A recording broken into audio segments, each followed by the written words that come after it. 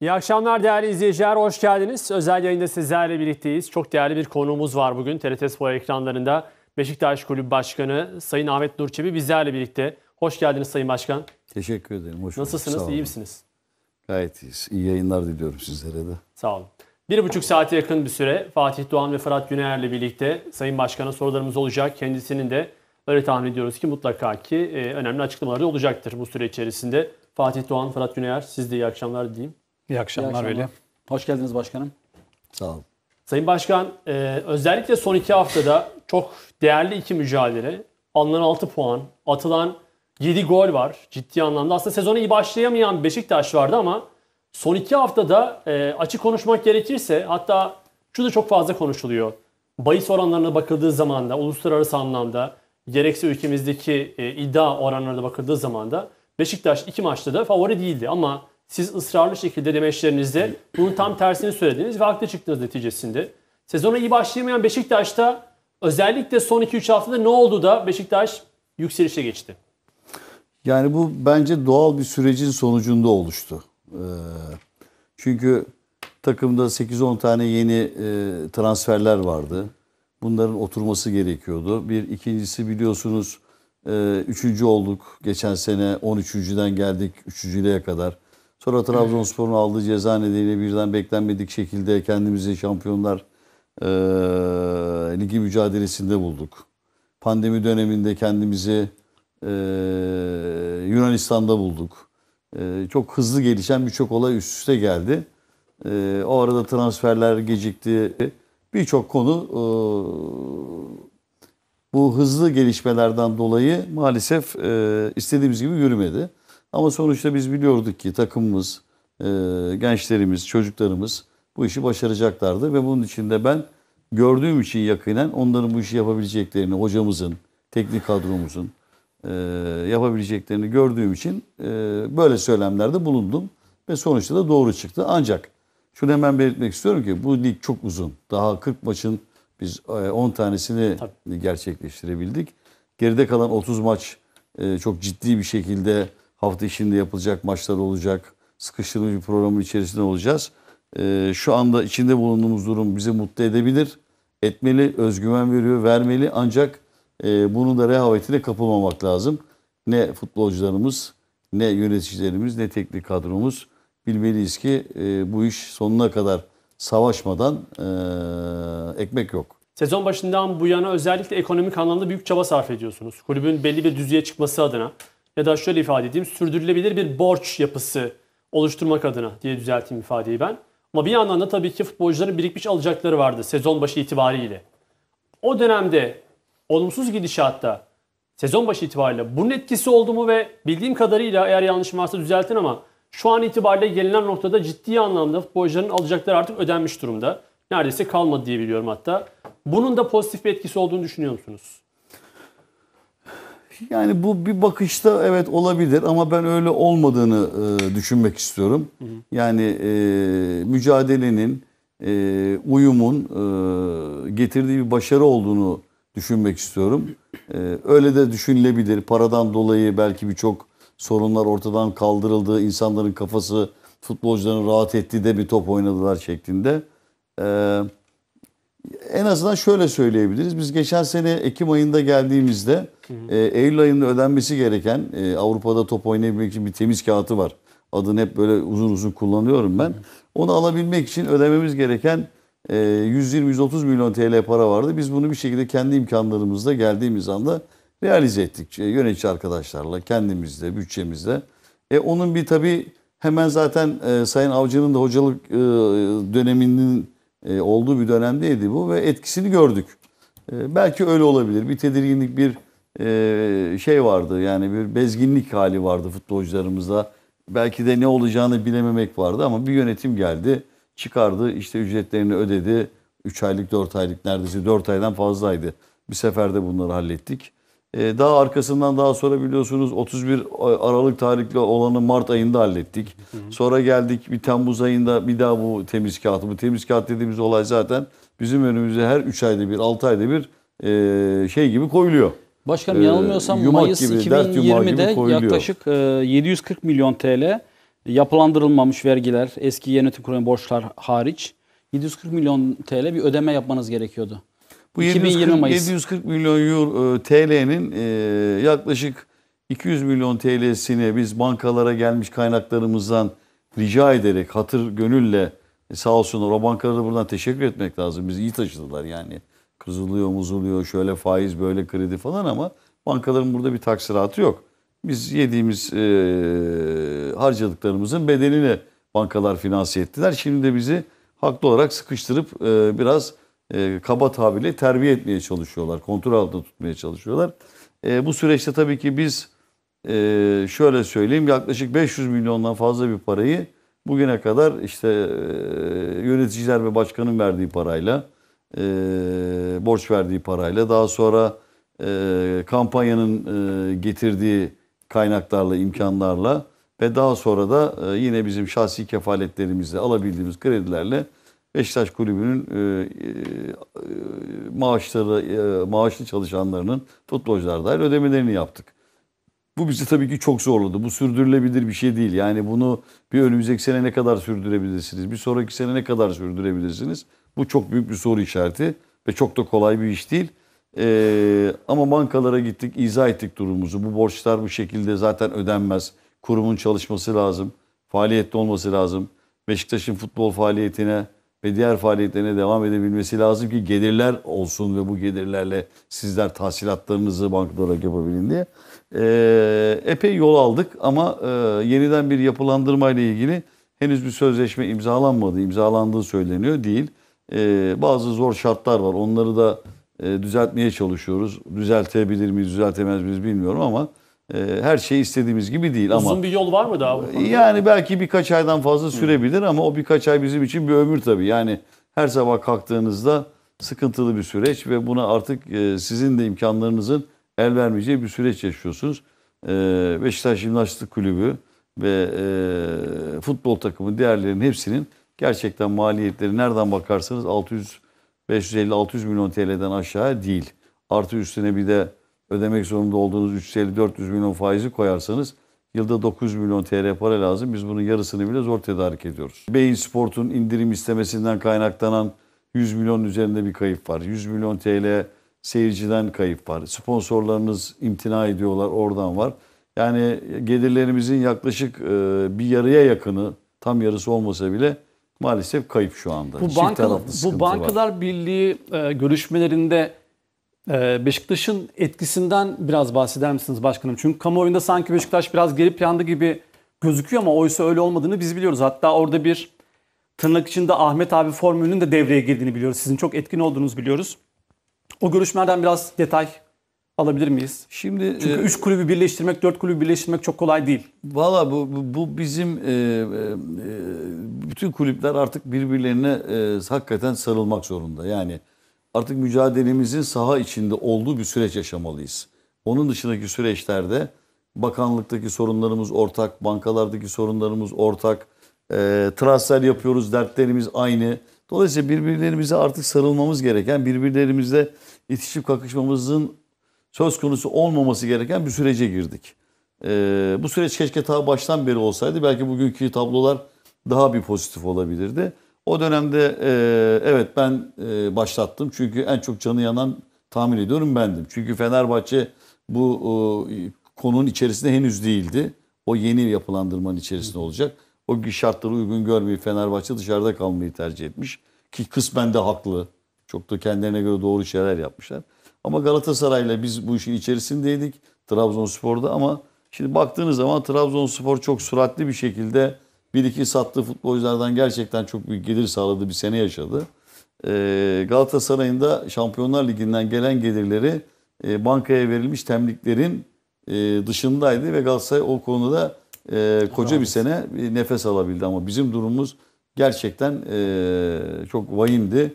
Bütün gelirlerimizin hepsi bankalarımıza temlikliydi ve bankalar bu paraları sadece kendi faiz gelirleri ve e, Tebrik edilmeyen gelir var mıydı? Yoktu, yayın yok, kuruluşlar yok. falan. Hiç, hiç, hiç yoktu. Hepsi, hepsi, hepsi. Şu anda onlara bir nefes alacak bir tarza getirmeye çalışıyoruz. Yani e, yani söyledikleri şuydu. Bütün gelirinizi buraya verin. Faaliyetleriniz için gidin nereden para buluyorsanız bulun. Peki ben buldum. bunu pazarlayacağım, alacağım. Yo yo o da temlikli. E bu bu bu bu da temlikli falan derken yani sonuçta işte yöneticilerin ve bağış yapan e, Beşiktaşlıların kampanyadaki e, ve yöneticilerin bizlerin kefaletleriyle bugüne kadar geldik. Şunu eklemek istiyorum başkanım konu dağılmadan. Şeye de geleceğim. E, 2 artı 7 tartışılıyor. E, Sayın Ali Koç'la Sayın Mustafa Cengiz'de üstte toplantılar yaptığınızı biliyoruz bu konuyla ilgili. E, merak ettiğim konu sizler yönetim olarak, başkan ve yönetim olarak çoğu aslan payı üzerinizde. E, ne kadar katkı sağladınız e, toplu olarak? Bir ikincisi bunu merak ediyorum. Bir de e, tabii dövizlerden yansıyan farklar bu sürece nasıl etki etti? Şimdi de, de, de, devalüasyonun getirmiş olduğu yük nereden bakarsan yüzde otuz.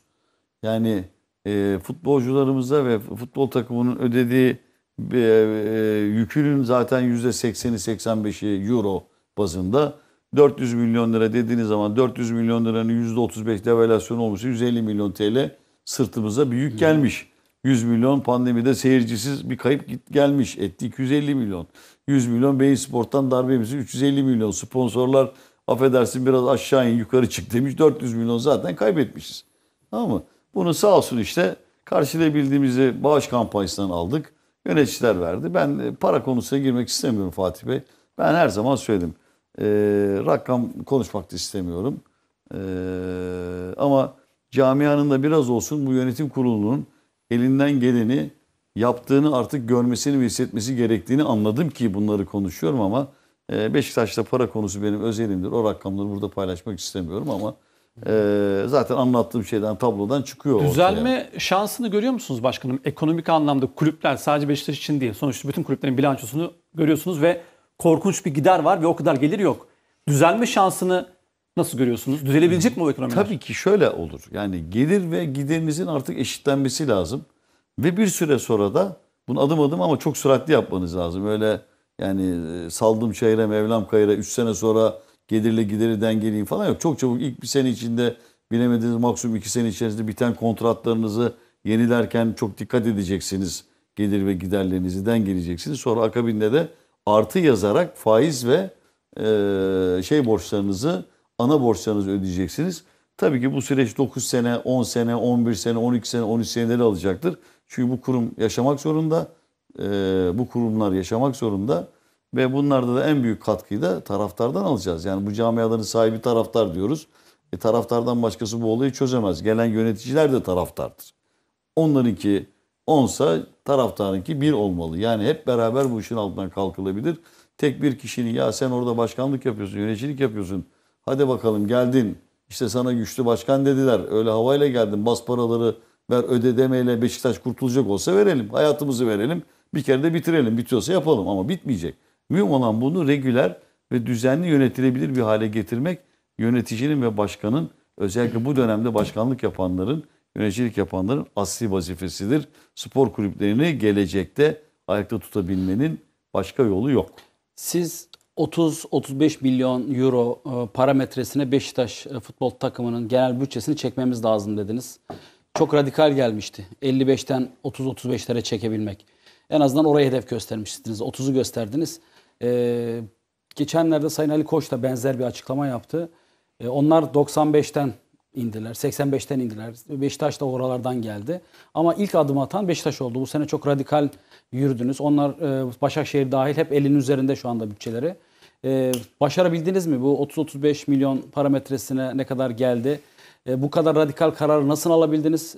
Şimdi aynı söylemleri Sayın Ali Koç'un ağzından da duydum. Geçen Emre e, Belozoğlu işte hocamız dedi. Önümüzdeki yıl takımı oralara çekmek için gayret edeceğiz maliyetleri dedi. Kurtuluş yolu bu mudur efendim? Denk bütçe yapabilmek için e, buralarda şampiyonluklar ya da yarışlar kovalanabilir mi? Evet Türkiye'nin gerçeğiyle yaşayacaksak Türkiye'nin gerçeklerine göre e, bu takımlar yaşamak zorundalar. Türkiye'nin gerçeklerinde de eğer devalüasyon riski varsa bunu düşünerek hesabınızın içerisine koymak zorundasınız. E, artı e, istediğimiz kadar olmadı. Evet bir miktar oldu. Yani başını bütçenin aşağıya doğru eğebildik. E, ve fena da bir takım olmadı. Bana göre tabii. Yani kimileri beğenmiyor, az görüyor falan anlayabiliyorum. Ama e, maalesef elimizde 2 yıl 3 yıl daha devam eden çok ağır kontratlar var. Zamanında yapılmış. Hatta bir şey vurgulamak istiyorum. Yani bizim geldiğimiz Ekim ayından evvelki Temmuz Ağustos döneminde eee, ön- döneminde yapılan bir transferler var. Transfer e, politikası yapılmış.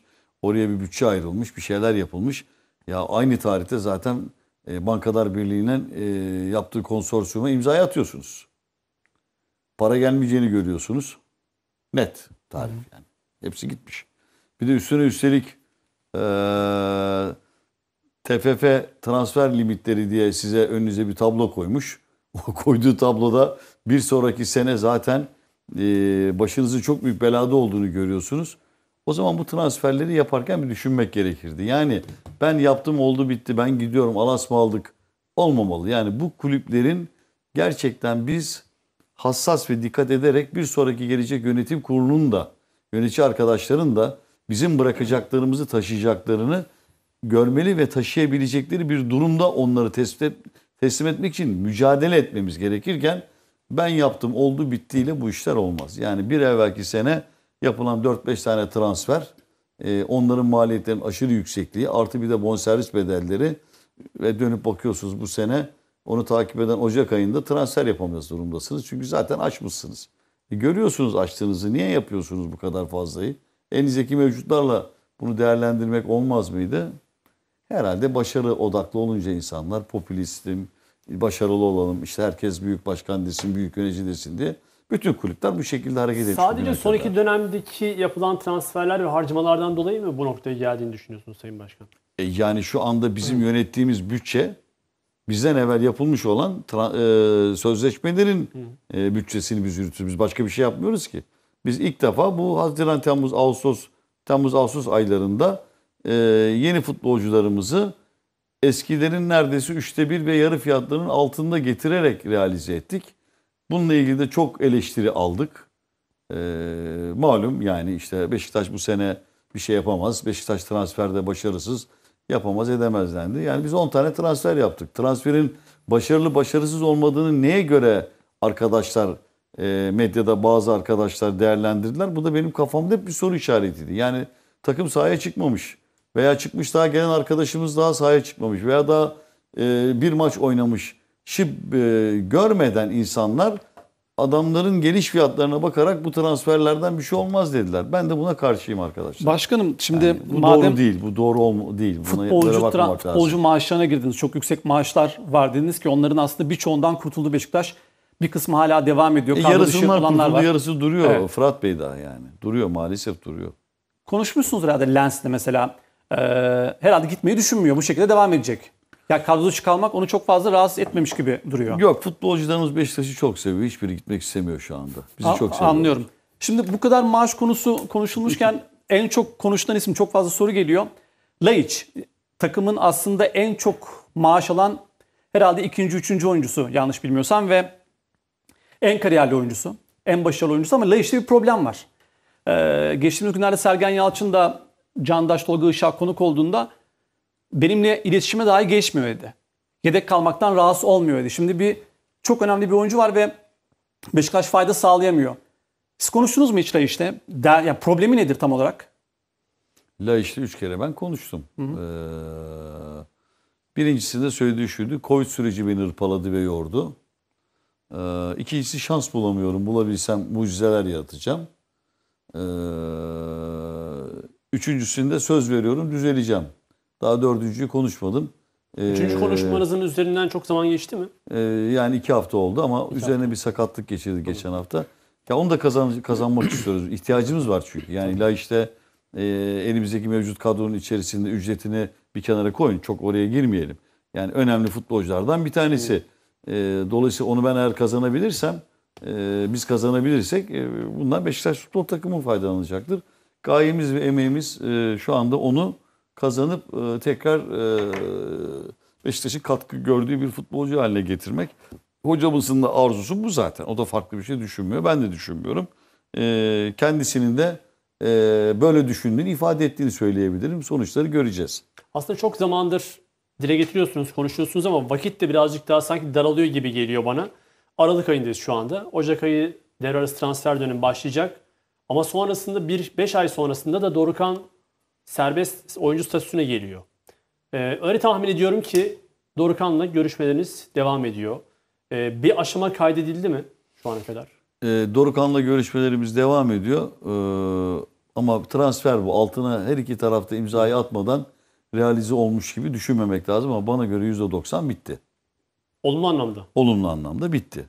Ama sonuçta imza atıldığı zaman kamuoyuna bunu e, söyleyebiliriz. Önemli manşet başkanım. Önemli. Sanki gidecekmiş gibi Vallahi hava oluşmuş çünkü son Yani evet, Ben, ben, ben benim fikrimi soruyorsanız ben gideceğini düşünmüyorum ama e, ben Dorukhan'ın da farklı bir bana farklı davrandığını e, gitmek isteyip de gitmek istemiyormuş şeklinde bir bana e, rol yaptığını düşünmüyorum. Ha, tavrından Ben- dolayı mı? Evet başkanım? tavrını ben e, Ama yazılı bir buluyorum. anlaşma, bir görüşme. E, e, yok o, görüşüyoruz tavrı müsbet konuştuğumuz şeyler müsbet sadece bunların kağıta döküldüğünde imzalamasını bekleyeceğiz. Size de muhakkak geliyor bize geldiğine göre. Ee, çeşitli söylentiler var Dorukhan'la ilgili. Sene sonunda e, başka takımla anlaştığına dair, başka takımlarla prensip anlaşmasına vardığına dair. Hatta daha açık konuşayım. Genellikle sosyal medya üzerinde Fenerbahçe ile anlaştığına dair yazılanlar var. Ama tabii ki ağzından böyle bir şey duymadık. Fenerbahçe'den de böyle bir şey duymadık bu konuda. Siz bu konuda herhangi bir araştırma yaptınız mı? Görüşmeler Nasıl olmaz araştırma zaten. yapabilirim Ya ki? şöyle- Futbolcu benimle konuşuyor. Ee, gelmek istediğini söylüyor. Emre Kocadağ'la görüşüyor. Ee, pozitif e, mesajlar alıp veriyoruz. Ee, ben kendisiyle konuştum. Ee, burada kalmanı istiyoruz. Benimle beraber e, bu sözleşmeyi at. Burada benden sonra da yıllarca kal Dorukhan dediğimde ben de öyle istiyorum başkanım dedi. Emre Bey'le oturup konuştuğunda e, ben de böyle düşünüyorum dedi. E, sonuç itibariyle ben bu sözlere itibar etmek zorundayım. Tabii. Ama kamuoyunun Beşiktaşlı taraftarlarına da söyleyebileceğim tek bir şey var. İmza atıldığı anda bu işler bitmiş demektir. Ondan evvel her şey de açıktır. Yani e, bitti diyemem çünkü imza yok. Ama nasıl gidiyor diyorsunuz muhteşem iyi güzel gidiyor. Hiçbir yok. de görüştünüz mü? E tabii hepsiyle görüşürüz. Evet. Başkanım e, ben biraz genelden gireyim. 30 Ekim 2000 itibari tarihiyle e, Beşiktaş ve şirketler hakkında 272 e, toplamda 144 milyon liralık e, icra takibi davası var. Buradan girelim. Bunların kaçını hallettiniz? Bir de bunların içerisinde iki futbolcu var ki oraya da bağlamak isterim. E, Ruiz'in e, gidişi, Kayros'un gidişi, UEFA'nın, FIFA'nın bu konudaki e, aslında futbolcudan yana ilginç bir şekilde tavrı, pandemi sürecindeki açıklamalarıyla ters bir tavrı var. E, genel bir yorumlarsanız. Şimdi Beşiktaş'ın ekonomik e, sürecini sağlıklı hale getirmediğimiz süreçte haciz ve icralar devam edecek. Sonuç itibariyle alacaklı olan insanlar var. Bunlar da alacaklarını talep ediyorlar. Hatta bazılarını çok mağdur ettiğimiz de söz konusu. Yani insan onlara verdiğiniz zarardan dolayı onlar zarar da gören alacaklılar var. E bir yerde de üzülüyorsunuz yani. Adama bir şey yaptırmışsınız. Adam gitmiş bir yerden bir bardak almış, getirmiş suyu koymuş, size vermiş. Adama parasını vermiyorsunuz. Adam bardağın parasını ödeyemiyor. Şimdi onun düştüğü durumu düşünün. Şimdi bu benim için tabii çok üzücü bir şey. Ee, bir ikincisi çalışan arkadaşlarımız vardı. Ayrıldık, yollarımızı ayırmışız. Ee, tasarruf edeceğiz diye ayırmışız. ihtiyaç yok diye ayırmışız. Ee, onlara da ödemelerimizi, tazminatlarını yeteri kadar düzgün ödeyemiyoruz. Onlar da icra yoluyla, haciz yoluyla almaya gelenler var. Ee, bazıları hakikaten haksızlık yapıyor. Şimdi Bunlara üzüntü duyuyorum ama bazıları var ki yıllardan beri Beşiktaş'tan para kazanmışlar. İsteseler bunu idare edebilirler. Ee, ama yapmayanlar da var. Yani üstümüz üstümüze gelip kulübe her gün avukatını gönderen, e, herhalde bizim gelmiş olmamızdan e, sıkıntı çeken, niye siz buradasınız deyip ben size gösteririm deyip parmak sallayan her gün e, alacağı için icra ve haciz gönderen arkadaşlar da var. Onlar buradan mesajı alıyorlar, kimler olduğunu biliyorlar. E, onlara da diyorum ki buradan bunları böyle yapmayın. Biz buraya e, geldik hizmet etmeye çalışıyoruz. E, büyük de eziyet çekiyoruz. E, sadece bu işin onurunu ve şerefini yaşıyoruz. Onun dışındaki yükü çok ağır. Maddi manevi çok ağır. Eve gidemiyorsunuz, çocuklarınızla ilgilenemiyorsunuz, anne babanızla ilgilenemiyorsunuz. Pandemi sürecinde herkes evinde. E, yani ama ben e, şeydeyim yani e, ortalıklarda biz insanlarla görüşmeye devam ediyoruz. Bu pandemide bizde risk, risk altındayız. Ben de 60 yaşını devirdim yani neredeyse sokağa çıkma yasağının içine girecek yaşa doğru geliyoruz ama Beşiktaş için canımız feda deyip herkes evinde otururken e, biz buralarda uğraşıyoruz. Hatta geçenlerde bir dil sürçmesi oldu e, şeyde Ee, ya İstanbul'u terk edip köye gidiyorlar. Köylerinden e, tweet atıyorlar sosyal medyada. Biz burada pandemiyle uğraşıyoruz. Ya Beşiktaş köylülere hor mu görürsün? Ya ben İstanbul'u terk edip köye gidenler var. Yani bildiğimiz lüks köyler. İşte Bodrum'dur, Sapanca'dır. Gidiyor adam orada yazdığında oturuyor, kışlığında. Oradan bir tweet atıyor. Bu bana mesela bunu eleştirdim. Orada bile e, işte ifadeyi edememek. Bu Türkçe böyle sorunlu bir dil. E, maalesef ben kullanırken bazen hata yapıyorum heyecanlı. Böyle bir şey oluyor. Sosyal medyanın başkanım kulüpleri etkilediğini, yönetimleri etkilediğini düşünüyor musunuz? Bugün de yine bir e, bir Beşiktaş spor konusu bir anda gündeme çıktı. Bir dil sürçmesi üzerinden mesela çok fazla tweet atıldı. E, konular çok fazla büyütülüyor, abartılıyor. Bazen çok sert bir muhalefet oluyor orada. Sosyal medyayı takip ediyor musunuz? Sizi etkiliyor mu? Ben sosyal medyayı takip etmiyorum ama sosyal medyayı pozitif anlamda kullananlar, eleştirenler başım gözüm üstünde yeri var. Her zaman söylüyorum. Ancak çok iyi bildiğim bir şey var ki şimdi ben o dil suçbesini e, inanın sabah programda olmuş herhalde şeyde e, foto maçın e, Evet, hı hı. şeyinde. E, ben burada Fatih Bey'den kapıda e, duydum böyle bir dilimin sürçtüğünü. Evet böyle bir şey söylemişsem dilim sürçmüş. Yani olabilir ben de sabahtan akşama kadar beynim yorgun, telefonlar bir şey söylerken durabiliriz, duraksayabiliriz. E, olabilir yani tabii ki Beşiktaş Jimnastik Kulübü'dür. Ben buranın başkanıyım yani bunu bilmemem mümkün mü? Eğer böyle bir laf söylemişsem bu dil suçbesinden ibarettir. Aynı nasıl İstanbul'u terk edip köye gidenler dediğimde köylüler yanlış e, algı a- a- yapılıyorsa burada da yapıyorlar. Onu söylemek istiyorum. Sosyal medyada bunu bu şekilde eleştirebilmek için birinin art niyetli olması lazım. Bunları eleştirenlerin de ben e, sadece beni eleştirmek adına e, bunları yaptığını söyleyebilirim.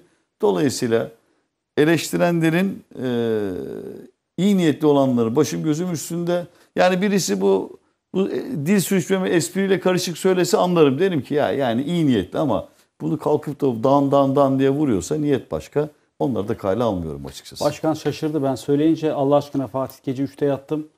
Yani toplantıdan toplantıya koşturuyorum. E çok doğal bir Farkında şey, bile çok değilim insani dedi. bir şey yani. Yani Biz yani bile bu- yayında neler söylüyoruz zaman Yani zaman. bazen bir bir şey söylüyoruz amacını aşıyor özür dilemeyi de biliyoruz. Ama bu benim özür dileyeceğim bir şey de değil. Dil yani bu suçması. dil suçması belli yani. Beşiktaş Jimnastik Kulübü'nün başkanlığını yapan birisinin bunun öteki cümleyi kurmuş olmasının e, tamamen dil suçması olduğu belliyken sosyal medyada bunu alıp da al, aşağı yukarıya yazıp çizmenin ancak ve ancak kötü niyetle e, tarifi yapılabilir. Sayın Başkan, Haziran ayında mukavele sona erecek biri daha var. Sergen Hoca. Sergen Hoca'yla e, çok fazla soru geldiği için de size iletmek istiyorum haliyle. Yeni bir mukavele imzalamayı düşünüyor musunuz? Şimdi benim anlayamadığım e, tabii bir şey var. Biz iş adamıyız. Özellikle ben demir sektöründen geliyorum. Bizim ağzımızdan bir laf çıktığı zaman bu laf geçerlidir sonuna kadar. Ben söylüyorum, söylüyorum, söylüyorum. Hiçbir şey olmamış gibi bir daha bir daha soruluyor. Bir daha bir daha konuşuluyor. Ee, ben dedim ki Sergen Hoca burada ne zaman bırakmak isterse o saate kadar burada onun yeri var dedim. Kontratı getirsin getirsin imzalayayım dedim ne istiyorsa. Şimdi bu, laf bir başkanın ağzından çıkıyor. Tabii. Bu yani laf olsun diye söylenmiş olamaz ki. Ben bunu söyledikten sonra son bir kere daha söyleyeyim. Bak bir daha cevap vermeyeceğim buna. Bu Sergen Hoca ne zaman bizimle e, ayrılmak istiyorsa o saate kadar Beşiktaş Jimnastik Kulübü'nde taraftarın gönlünde e, başkanın yanında takımın başında yeri vardır kardeşim. Net söylüyorum buradan bunu. Yani her sefer bir şekilde maç kötü gidiyor Sergen Hoca'yı ele alıyorlar. Maç iyi gidiyor Sergen Hoca'ya. Ya bizi bırakın. Kötü gittiği zaman da acımızı yaşayalım. İyi gittiği zaman da keyfini sürelim. Yok tövbe ya. Yani bırakmıyorlar. Ne, yani. neye bağlıyorsunuz başkanım? Son bir aydır Sergen Kesinlikle. Yalçın gidiyor, Sergen Yalçın bırakıyor. Kesinlikle Sizin Mustafa Denizli ile görüştüğünüz haberleri çıktı. Rıza Çalınbay'la görüşüyorsunuz haberleri. Devamlı bu Sergen Yalçın gidecek üzerinden bir haber durumu var. Neye bağlıyorsunuz bunu? Valla ben Mustafa Denizli hocamla yaklaşık 3-4 yıl evvel Beşiktaş'tan ayrılmadan önce e, Etiler Ulus'ta bir yerde bir yemek yedim. Sağ olsun e, yemek teklifimi kabul etmişti. O zaman pandemi yok. O günden sonra ben Mustafa Denizli'yi görmedim. Ayrıca sevdiğim ve değer verdiğim biridir. Beşiktaşlılığından da keyif alırım. Hocalığından da keyif alırım. Ama bizim şu anda çok başarılı bir hocamız var. Getirdik ona teslim ettik. En zor günde Beşiktaş'ın teknik direktörünü kabul etti. Geldi mücadele ediyor. E Yani biraz kötü gittiğinde yerden yere vurulmasını onun da benim de kabul etmiyorum. Hani yine iyi gittiği zaman Sergen hocamızın bir şansı var. maçları aldıkları zaman Sergen hocamızı bir şekilde yine tatif ediyorlar. Ya biz her halükarda darbeliyiz yönetici olarak. Kaybetsek de suçluyuz, kazansak da suçluyuz. Görüyorsunuz yani ne yaparsak yapalım e, olmuyor ama zaten ben bunu çok da dert etmiyorum. Ben zaten kaybolmak istiyorum. Ben sadece Beşiktaş'ın başarısıyla yaşamak isteyen biriyim. Yani gündemde olmayı da sevmiyorum. E, ama e, net bir şekilde söyleyeyim yani acı eleştirilerden, e, troll tayfaları tarafından küfür ve hakaretlerden e, çektiğim acıyı ve sıkıntıyı çocuklarıma yaşattıkları için o trollere buradan sesleniyorum. Onlar üzülüyor çocuklarım ama ben sizi hiç bir hiç kale almıyorum. Ne kadar yazıyorsanız yazmaya devam edin. Bu iletişim konusunda bir bazen öz eleştiri yapıyor musunuz Bakın başkanım? sosyal medyadaki troll hesaplardan bahsediyorum. Ne olur lütfen. Onlar kendileri çok iyi biliyorlar. Üç gün yazıp dördüncü gün kaybolanlar. isimleri ve adresleri belli olmayanlar var.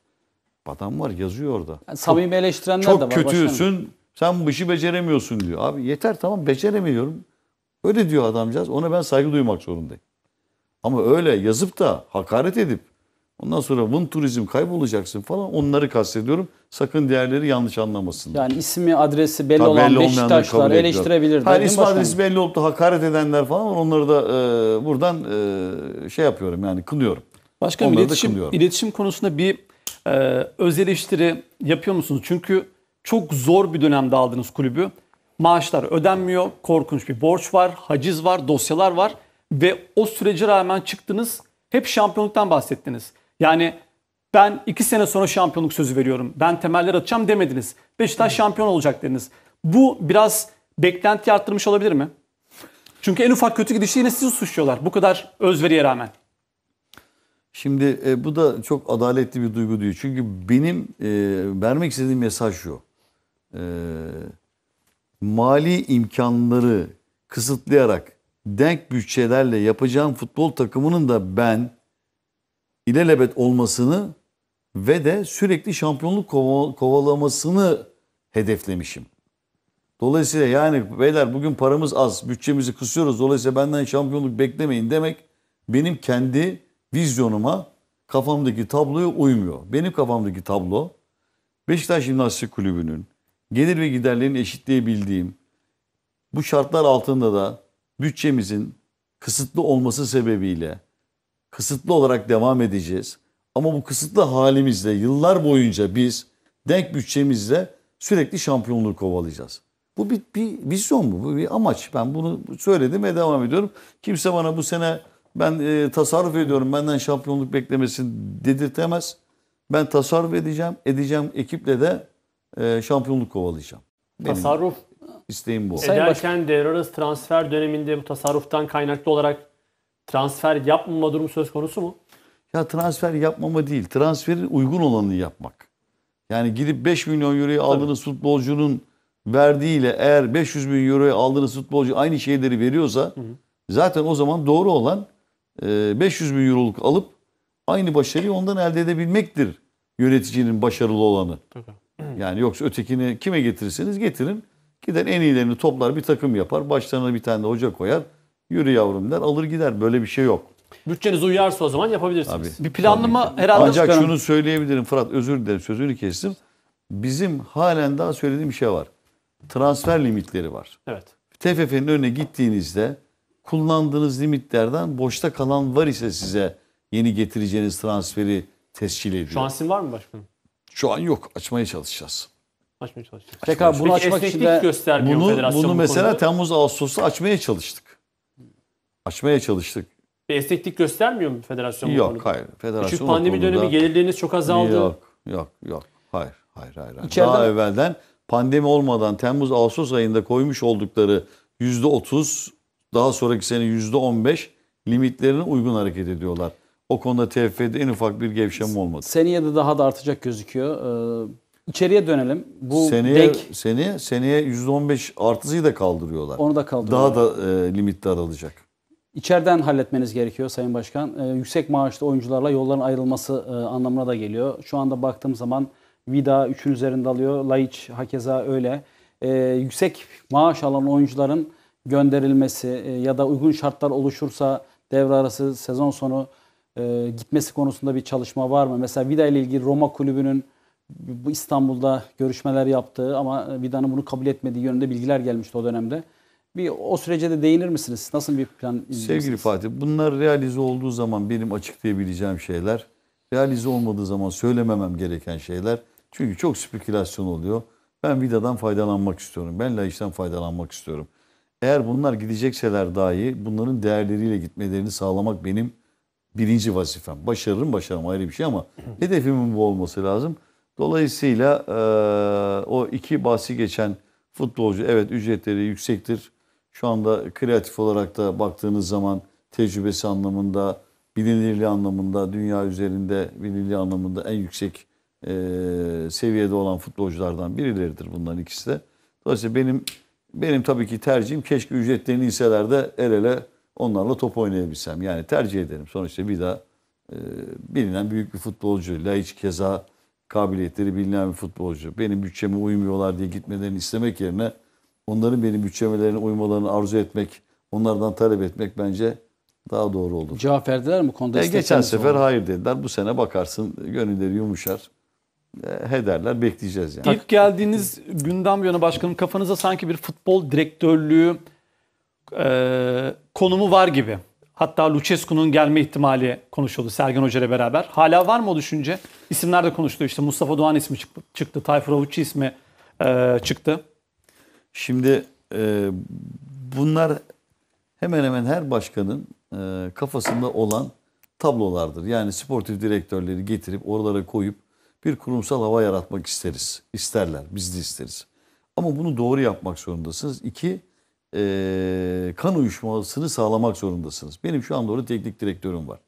Eğer teknik direktörüm buna ihtiyaç duyuyor ise ben onu anlarım onunla konuştuğum zaman. Benden bunu isterse yaparım ama uyuşmuyorsa, böyle bir talebi yok ise benim hocamı irite edecek, rahatsız edecek tavır ve davranışlarda bulunmama hiç gerek yok. Çünkü biz hocamızla şampiyonluklar kovalayacağız. Onun da huzuru benim için çok önemli. Anladığım kadarıyla hocanın böyle bir talebi yok. Şu anda yok ama bir yarın olmayacağı anlamına gelmez. Bakarsınız hoca diyebilir ki Ocak ayında ya başkan böyle bir şey yapabilir miyiz başkanım? Şöyle olur şu olur ben destek alırım. Derse hay hay demezse yine hay hay. Yani hocamızın görüşleri ve e, isteklerinin kan uyuşması anlamında onun huzuru ve motivasyonu anlamında benim için önemi var. Abu Bakar Çok Abu. Bakar e, bu noktada çok alınırken tartışılmıştı. Şöyle ki sakatlığı var. Ben de yayınlarda söyledim. Beşiktaş yönetimi bu riski alıyorsa eminim kontrolleri yaptırmıştır diye bekledik. Abu Bakar uyum sağladı. Böyle bir yıldız da Beşiktaş'ta şu anda. Hangi futbolcuları e, hangi bedellerle aldınız? Mesela geçen yıllarda bir 17-18 milyon euroluk bir sizden önceki dönemde bir transfer kapaması vardı. Sizin döneminizin transfer bedelleri ne kadar Sayın Başkan? Biz bir defa kesinlikle bonservis vermedik. Yani bizim 16-17 milyon euro ben gelmeden Haziran, Temmuz, Ağustos aylarındakiler futbolcu ücretlerinin dışında ayrıca bonservis bedelleriydi. Bedelleriydi. Bizim zamanımızda bir bonservis bedeli söz konusu değil. Biz bonservis vermedik. Dolayısıyla bonservis futbolcular aldık. Abu Bakar gelirken bonservis bedeli verilmedi. Sadece ücreti verildi. Ee, Rozeri gelirken çok cüzi bir kiralama bedeli, çok cüzi yani e, rakamı söylemiyorum. O futbolcumu sanki değersizleştirir diye onu bile söylemek istemiyorum. Bunlar var. Ee, Abu Bakar'a gelince Abu Bakar'ın e, sakatlığı e, bana göre e, yok. Başkalarına göre olabilir. Zaten gönderen takım da çok pişmanmış.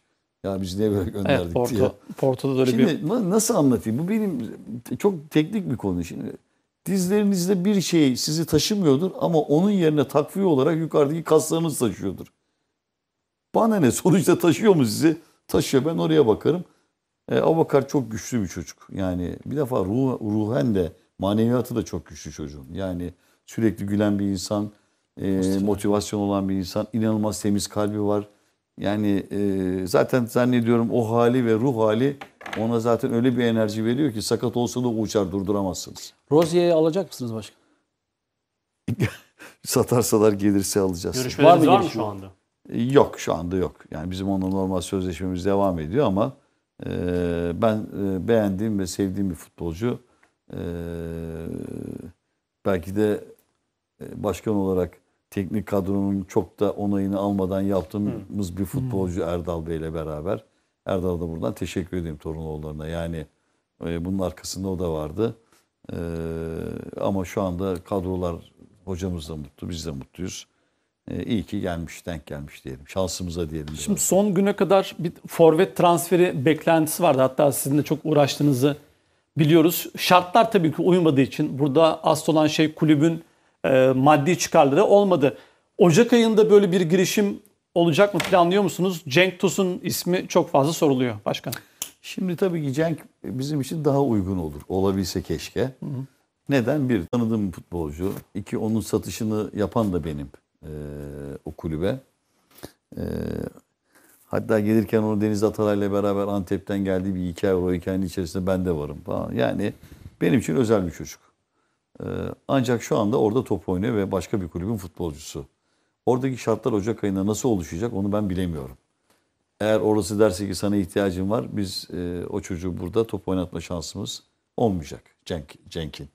Ama varsa bir imkan derseler ki evet bu sizde oynayabilir 6 ay, bir sene, bir buçuk sene falan. Avrupa Şampiyonası da var. Evet Tabii. kapımız açık. Yani ben Cenk'i çok isterim. Cenk'in ikinci pozitif tarafı şu. e, bizim yabancı sayısında bir sınırlamamız var. Ve şu anda kulüp olarak da e, maalesef sıkıntı içerisindeyiz yabancı sayısı konusunda. Dolayısıyla e, yabancı biri yerine yerli birinin olması bizim için tercih meselesidir. Cenk'in olması, çocuğumuz olması nedeniyle tercih sebebimizdir. Ama ya nasip yani e, Ocak ayı gelmeden kendi kulübünün vereceği kararı görmeden biz Cenk'le ilgili bir tasarrufu yorum yapamayız. Sadece olursa neden olmasın çok isteriz, çok mutlu oluruz diyebileceğim bir futbolcu. Zeloiz'le ilgili çalışma yaptınız mı başkanım? Bir bayağı mesafe almıştınız ama Ruslar aldı herhalde kaptılar. Yani e, transfer çok ilginç. E, şey neydi bugün Sayın Mustafa Cengiz'in bir ifadesi vardı. E, av dönemi başladı menajerlerin diye. E, maalesef transfer dönemleri menajerlerinde işte e, av dönemi yani çıkıyorlar. Sizle konuşuyorlar. Orayla orayla siz zannediyorsunuz ki sadece sizle konuşuyor. O anda başkasıyla sonra pardon diyor. E, telefonunuza çıkmıyor veya birisi daha cesur oluyor. Çıkıyor diyor ki işte ne yapayım futbolcu yaptı. Alakası yok. Bütün şeyi o yapıyor. E, evet o futbolcu da böyle oldu. Yani biz son dakikaya kadar getirdik.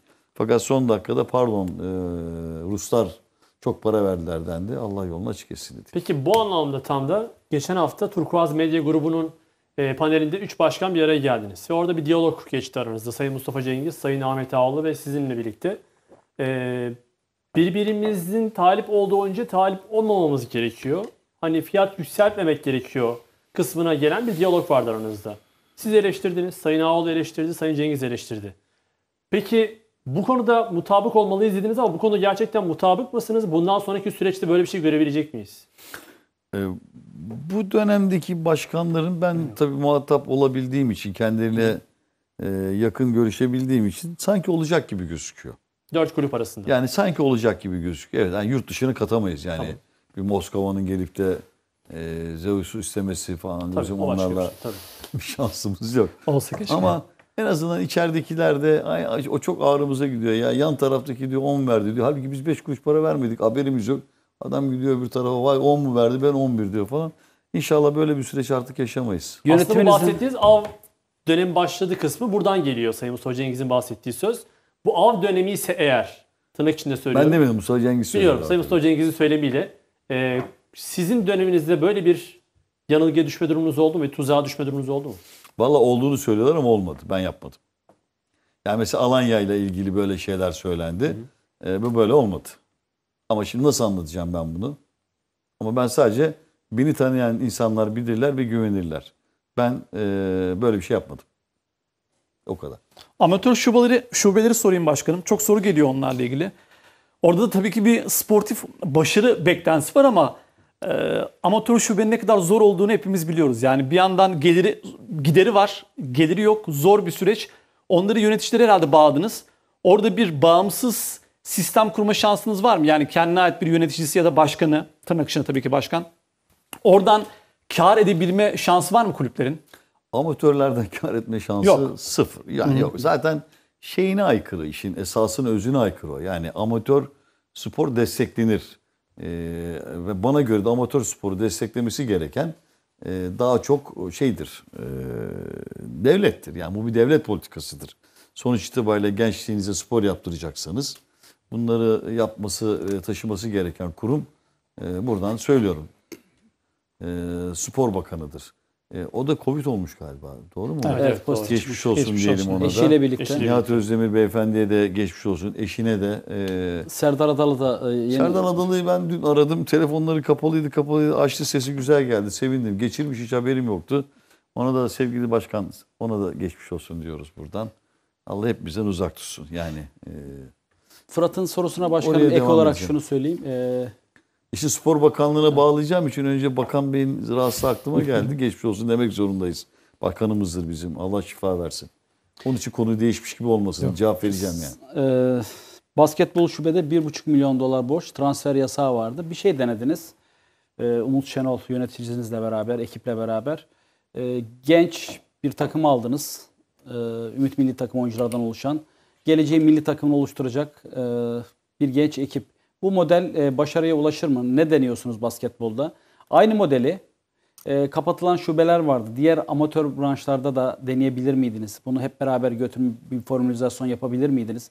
Yani orada bir basketbol ayrı, diğerleri ayrı gibi bir ayrım mı oluştu? Amatörlerle ilgili genel bakış açınız, felsefeniz nedir? Mesela jimnastikle ilgili çalışmalarınız ne durumda? Evet peki.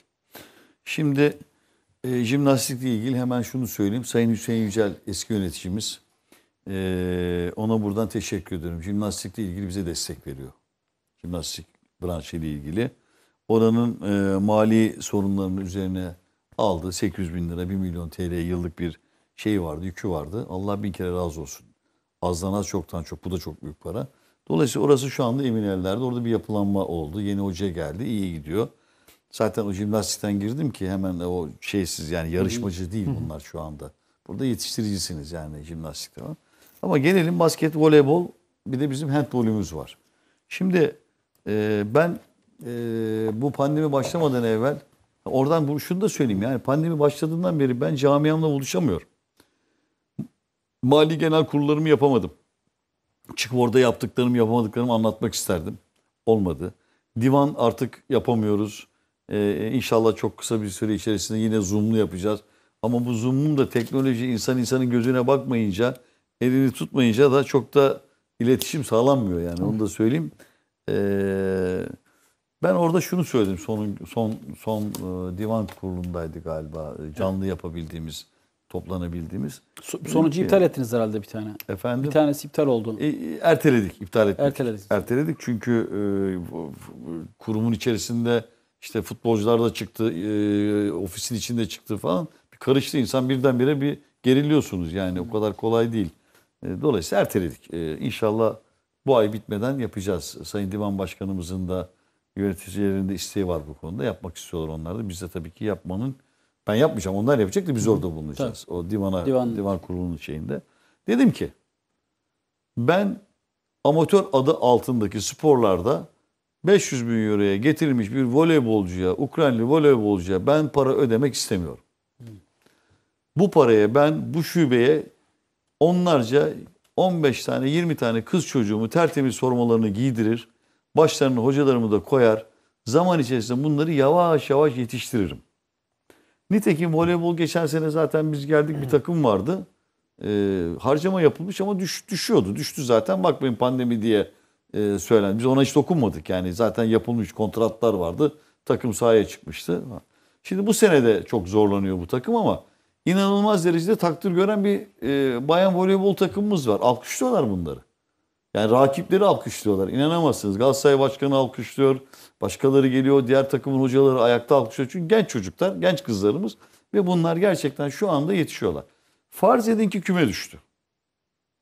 Bir sonraki sene bunlar aşağıda yine aynı beraber oynayacaklar. Ben istiyorum ki sonuç yetiştirsinler. Yetişsinler 2 sene, 3 sene, 4 sene, 5 sene Beşiktaş Jimnastik Kulübü'nün voleybol genç bayan takımının bir e, vizyonu olsun. Ücretleri düşük olsun. Kendilerine biz bakabilelim. Ücretlerini verebilelim. Yani haciz memurlara biz ilk kapıdan içeri girdik.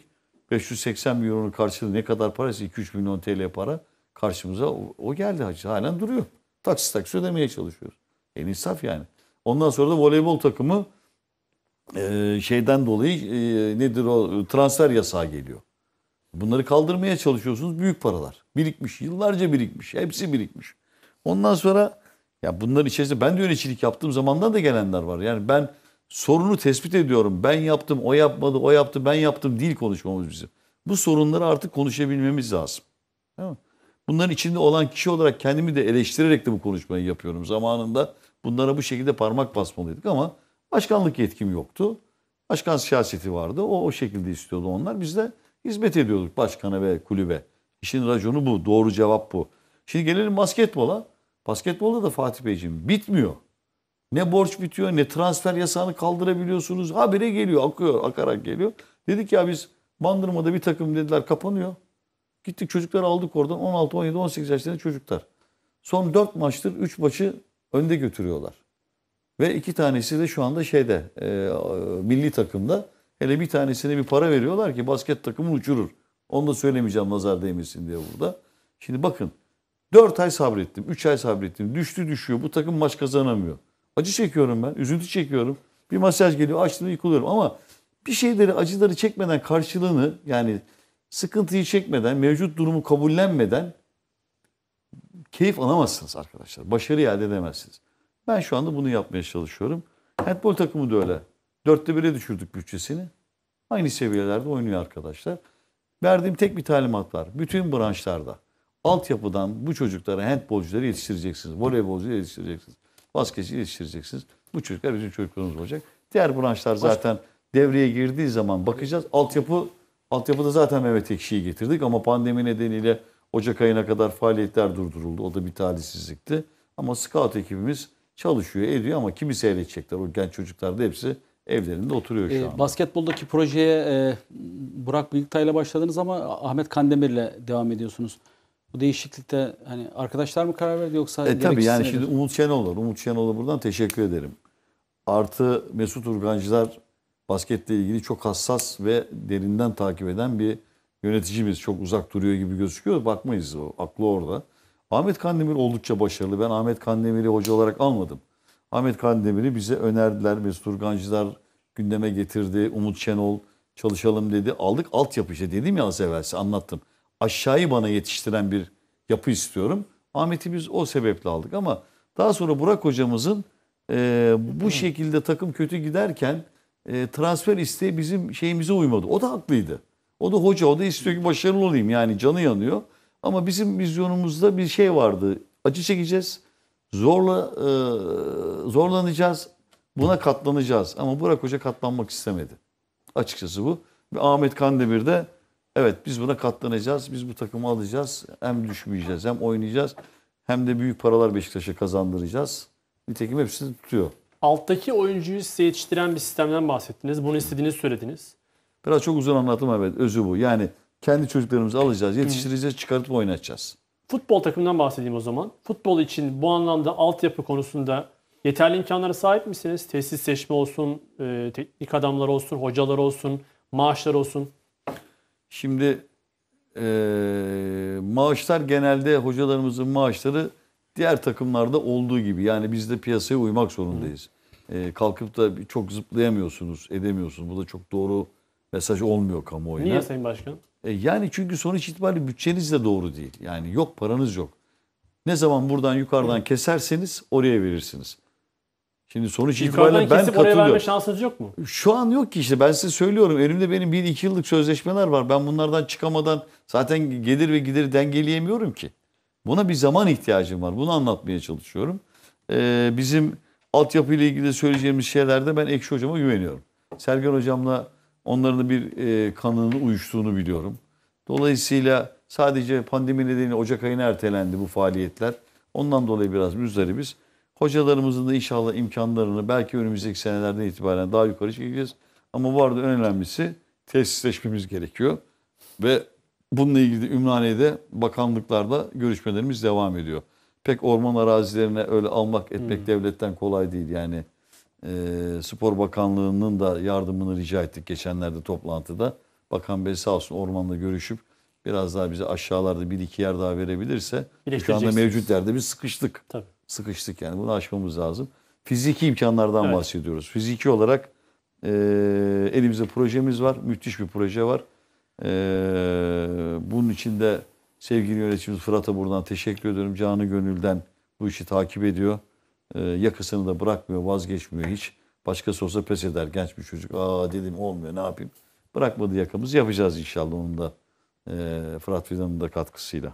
Bu bütçeyi yani Avrupa'da bütçeyi denk getiren kulüplerin yaptığı en önemli şey, becerdiği en önemli şey oyuncu satmak başkanım. Ajax da oyuncu satıyor, Dortmund satıyor, Porto satıyor. Yani yetiştirip oyuncu satıyorlar. Beşiktaş'ı şu anda yakın vadede bu tarz bonservisinden para kazanabileceğiniz veya planladığınız isimler var mı? Ve bu sisteme geçmek çok kolay değil ama böyle bir planlamanız var mı? Yani gelen parayı altyapıya yatırıp %20'sini, %30'unu daha sonra oyuncu yetiştirmek ve oyuncu satmak. Böyle bir planlamanız var mı? Arzumuz var, isteğimiz var ama günahlar bırakmıyor. Canım cennet istiyor diye de bir laf var. Yani e, bunların hepsini biz çok tabii ki istiyoruz ama sonuç itibariyle benim elimdeki şu anda e, oynayan genç kalecim var. E, Rıdvan'dan çok umutluyuz. Güven var. E, bunlar benim şu anda e, Dorukan e, görüyorsunuz. Yani bunlar bizim göz bebeğimiz futbolcularımız. Atakan'ı Bunlardan aldınız. Atakan'ı aldık. E, Ben Atakan'dan çok umutluyum. E, Altınordu'dan çok zorla aldım onu. Yani e, bakmayın Mehmet Özkan'la Demirçelik sektöründen gelen bir ilişkim vardı. Yalvar yakar. Herkese bir iyilik yapıyorsun bana yapmıyorsun dedim. Öyle aldım. E, Hasiç'ten e, öyle söylediler. Umutluyum. Öyle anlattılar biz Hasiç'e geldiğimiz zaman. İnşallah bunların hepsi olursa 5-6 tane saydım zaten. Bunlardan seneye ikisi gider. Arkadan bir iki tane getirebiliyorsak ki e, Mehmet Ekşi'nin de şu, o konuda önerileri var. Başka, başkanım Hoca'ya. Alanya meselesi nedir? Ee, mesela aldığınız, yetiştirdiğiniz oyuncuları Alanya'ya mı gönderiyorsunuz, veriyorsunuz? Mesela Wellington aldınız, Fatih'i verdiniz. En Sakala'yı sanırım bonservisiz aldınız. Yine e, Ahmet'le Alpay Çelebi gibi yetenekli çocuklar sanırım kiralık oynuyorlar. Nedir bu Alanya projesi? Beşiktaş'ın yetişen çocuklar oraya mı e, gönderiliyor? Şimdi e, Fatih ayrı bir case. Yani Fatih ayrı bir konu. Fatih e, bizde Beşiktaş'ta kalabilirdi. Ama ihtiyacımıza göre hareket etmek zorunda bir planlamaydı. Wellington'a hocamızın ihtiyaç duyduğunu zaten kendi de söyledi. söyledi. Dolayısıyla bunun karşılığında Fatih'ten başka alternatifimiz yoktu. Yani paranız olmadığı zaman da maalesef şöyle kabul edin. Wellington'ın bir bonservis bedelini ödeyemiyorsanız Fatih'le bunu yapabilmişseniz ve ihtiyacınız da var ise o zaman demek ki biz Fatih'i yetiştirip de değerlendirdiğimiz, e, altyapıdan değerlendiğimiz bir futbolcu olarak da görebiliriz. Çünkü bir gelir sağladı kulübüne. Bir bonservis bedeli ödenecekken ödenmeyerek Fatih'le bir takas yapılması öbür taraftan baktığınızda Fatih'in kulübüne gelir sağlayan bir altyapı oyuncusu olduğu anlamına gelir bir. İkincisi e, diğer iki tane futbolcumuz Ahmet bizim- ve Alpay. Ahmet ve Alpay e, bunların ikisi de şu anda orada kiralık oynuyorlar. Yani benden çok e, ısrarla istendiler bunlar. Bunlar gidiyordu, alıyorlardı. Ben hayır olmayacağını söyledim. Elimizi masaya koyduk ve nitekim de gitmediler. Şimdi sonuç itibariyle bunların Alanya'da e, top oynamasıyla 3. ligde oynaması arasında Fatih Bey hangisini tercih edersiniz başkan olsanız? Ben Alanya'yı tercih ederim. E, ben de- Estağfurullah yani başkan olsanız. Yani ama Alanya'yı tercih ederim. Hayır yani empati yapın yerimi, yerinize koyun. Yani genç çocuklarımızın hepsini Fırat'cığım getiriyoruz şeye gönderiyoruz. Üçüncü ligde, ikinci ligdeki takımlara bunları alıyorlar ve oynatmıyorlar. İnanın oynatmıyorlar. Ondan sonra o çocuklar bir sene iki sene sonra yok olmuş şekilde geri geliyor. Günah ediyoruz. Hem Beşiktaş'ın emeklerine yazık hem o çocuklara yazık. Dolayısıyla Alanya Spor olması benim için avantajdır. Birinci Süper Lig'de top oynayan hatta şu anda e, oldukça da başarılı bir futbol takımı ve başında da e, giden e, Beşiktaşlı bir hoca var. Sonuç itibariyle bu iki tane çocuğu orada top oynatır da bana bir iki sene sonra geri getirirse kar eden Beşiktaş olacak. Ben Alanya'ya yani Alanya yerine 3. ligden bir takım olmasını mı tercih etmeliydim? Ya bunda da bakıyorum böyle durup dururken birdenbire Ahmet diyor. Ya bunların isimlerini nereden biliyor sosyal medyadakiler? Yok birileri bunu fiştekliyor. Ya biz orada bir sürü iş yapıyoruz. Alanya Spor'a rica ediyoruz. Bunu size vermeyeceğiz diyoruz. Kavga ediyoruz. Bir yıllık, iki yıllık adama veriyoruz. Top oynatma koşullarını ağırlaştırıyoruz. Futbolcumuz oynasın diye. Biz bu mücadeleyi verirken öbür taraftan sosyal medyanın bazıları tabii. Sosyal medyanın birçoğuna saygım var. Onu buradan net bir şekilde söyleyeyim. Yani insanlar oturup bir emek verip bir şey yazıyorlarsa onu yok kabul edemezsiniz. Şimdi ama bunun arkasında daha dur bismillah konunun ne olduğunu anlamadan vay sattınız Alanya Spor'la ilişkinizde ne ilişkim olabilir benim? Soruyorum beyler. Benim Alanya Spor'la ne ilişkim olabilir ki? Hiçbir ilişkim yok. Verdiğim futbolcuyu bir de oraya vermediysem demek ki kimsenin de art niyeti bir burada bir parmağı veya bir rolü yok demek. Yardımcı hocanız da aldılar başkanım. Ya yardımcı hocam yolu açık olsun. Yani e, onlar da hocadır. Gelişecekler. Ne yapayım yani? Söyleyecek bir şey Yeri. Başkanım- yeri doldu mu? Orada bir sizin Hocam zekidir. Sergen hocam doldurur. Dolduramıyorsa kendi doldurur. O bilir işini. Vardır bir bildi. Başkanım geçmişte yapılan bazı hamleler vardı. Onları da çok taraftar merak ediyor. Bolu'da bir tesis vardı mesela. Alındı mı alınmadı mı ne oldu? Çok o dönem e, konuşuldu artık Avrupa'ya gidilmeyecek. O tesis işte Fenerbahçe'nin topuk yaylasında olduğu gibi Beşiktaş'ın bir tesis olacak dendi. Aynı şekilde Pendik'te yanılmıyorsam bir tesis var. Akatlar'da var yine bir Beşiktaş'a ait bir e, tesis, proje ya da her neyse. Bunların durumu nedir? Şimdi Akatlar'da biz geldiğimizde No 1903 belediye tarafından ertesi gün sabah mühürlendi. Bizle alakası yok. Aylarca kiralar ödenmemiş. Neyse sonuç itibariyle gittik çözdük. Yeniden ihale prosedürünü belediye uyguladı. Kanunlara uygun bir şekilde yine gittik Akatlar'ı aldık Beşiktaş'ta e, camiamıza kazandırdık. Çünkü oraya e, inanılmaz derecede çok büyük para harcanmış. Yani niye harcanmış? Gerek var mıydı?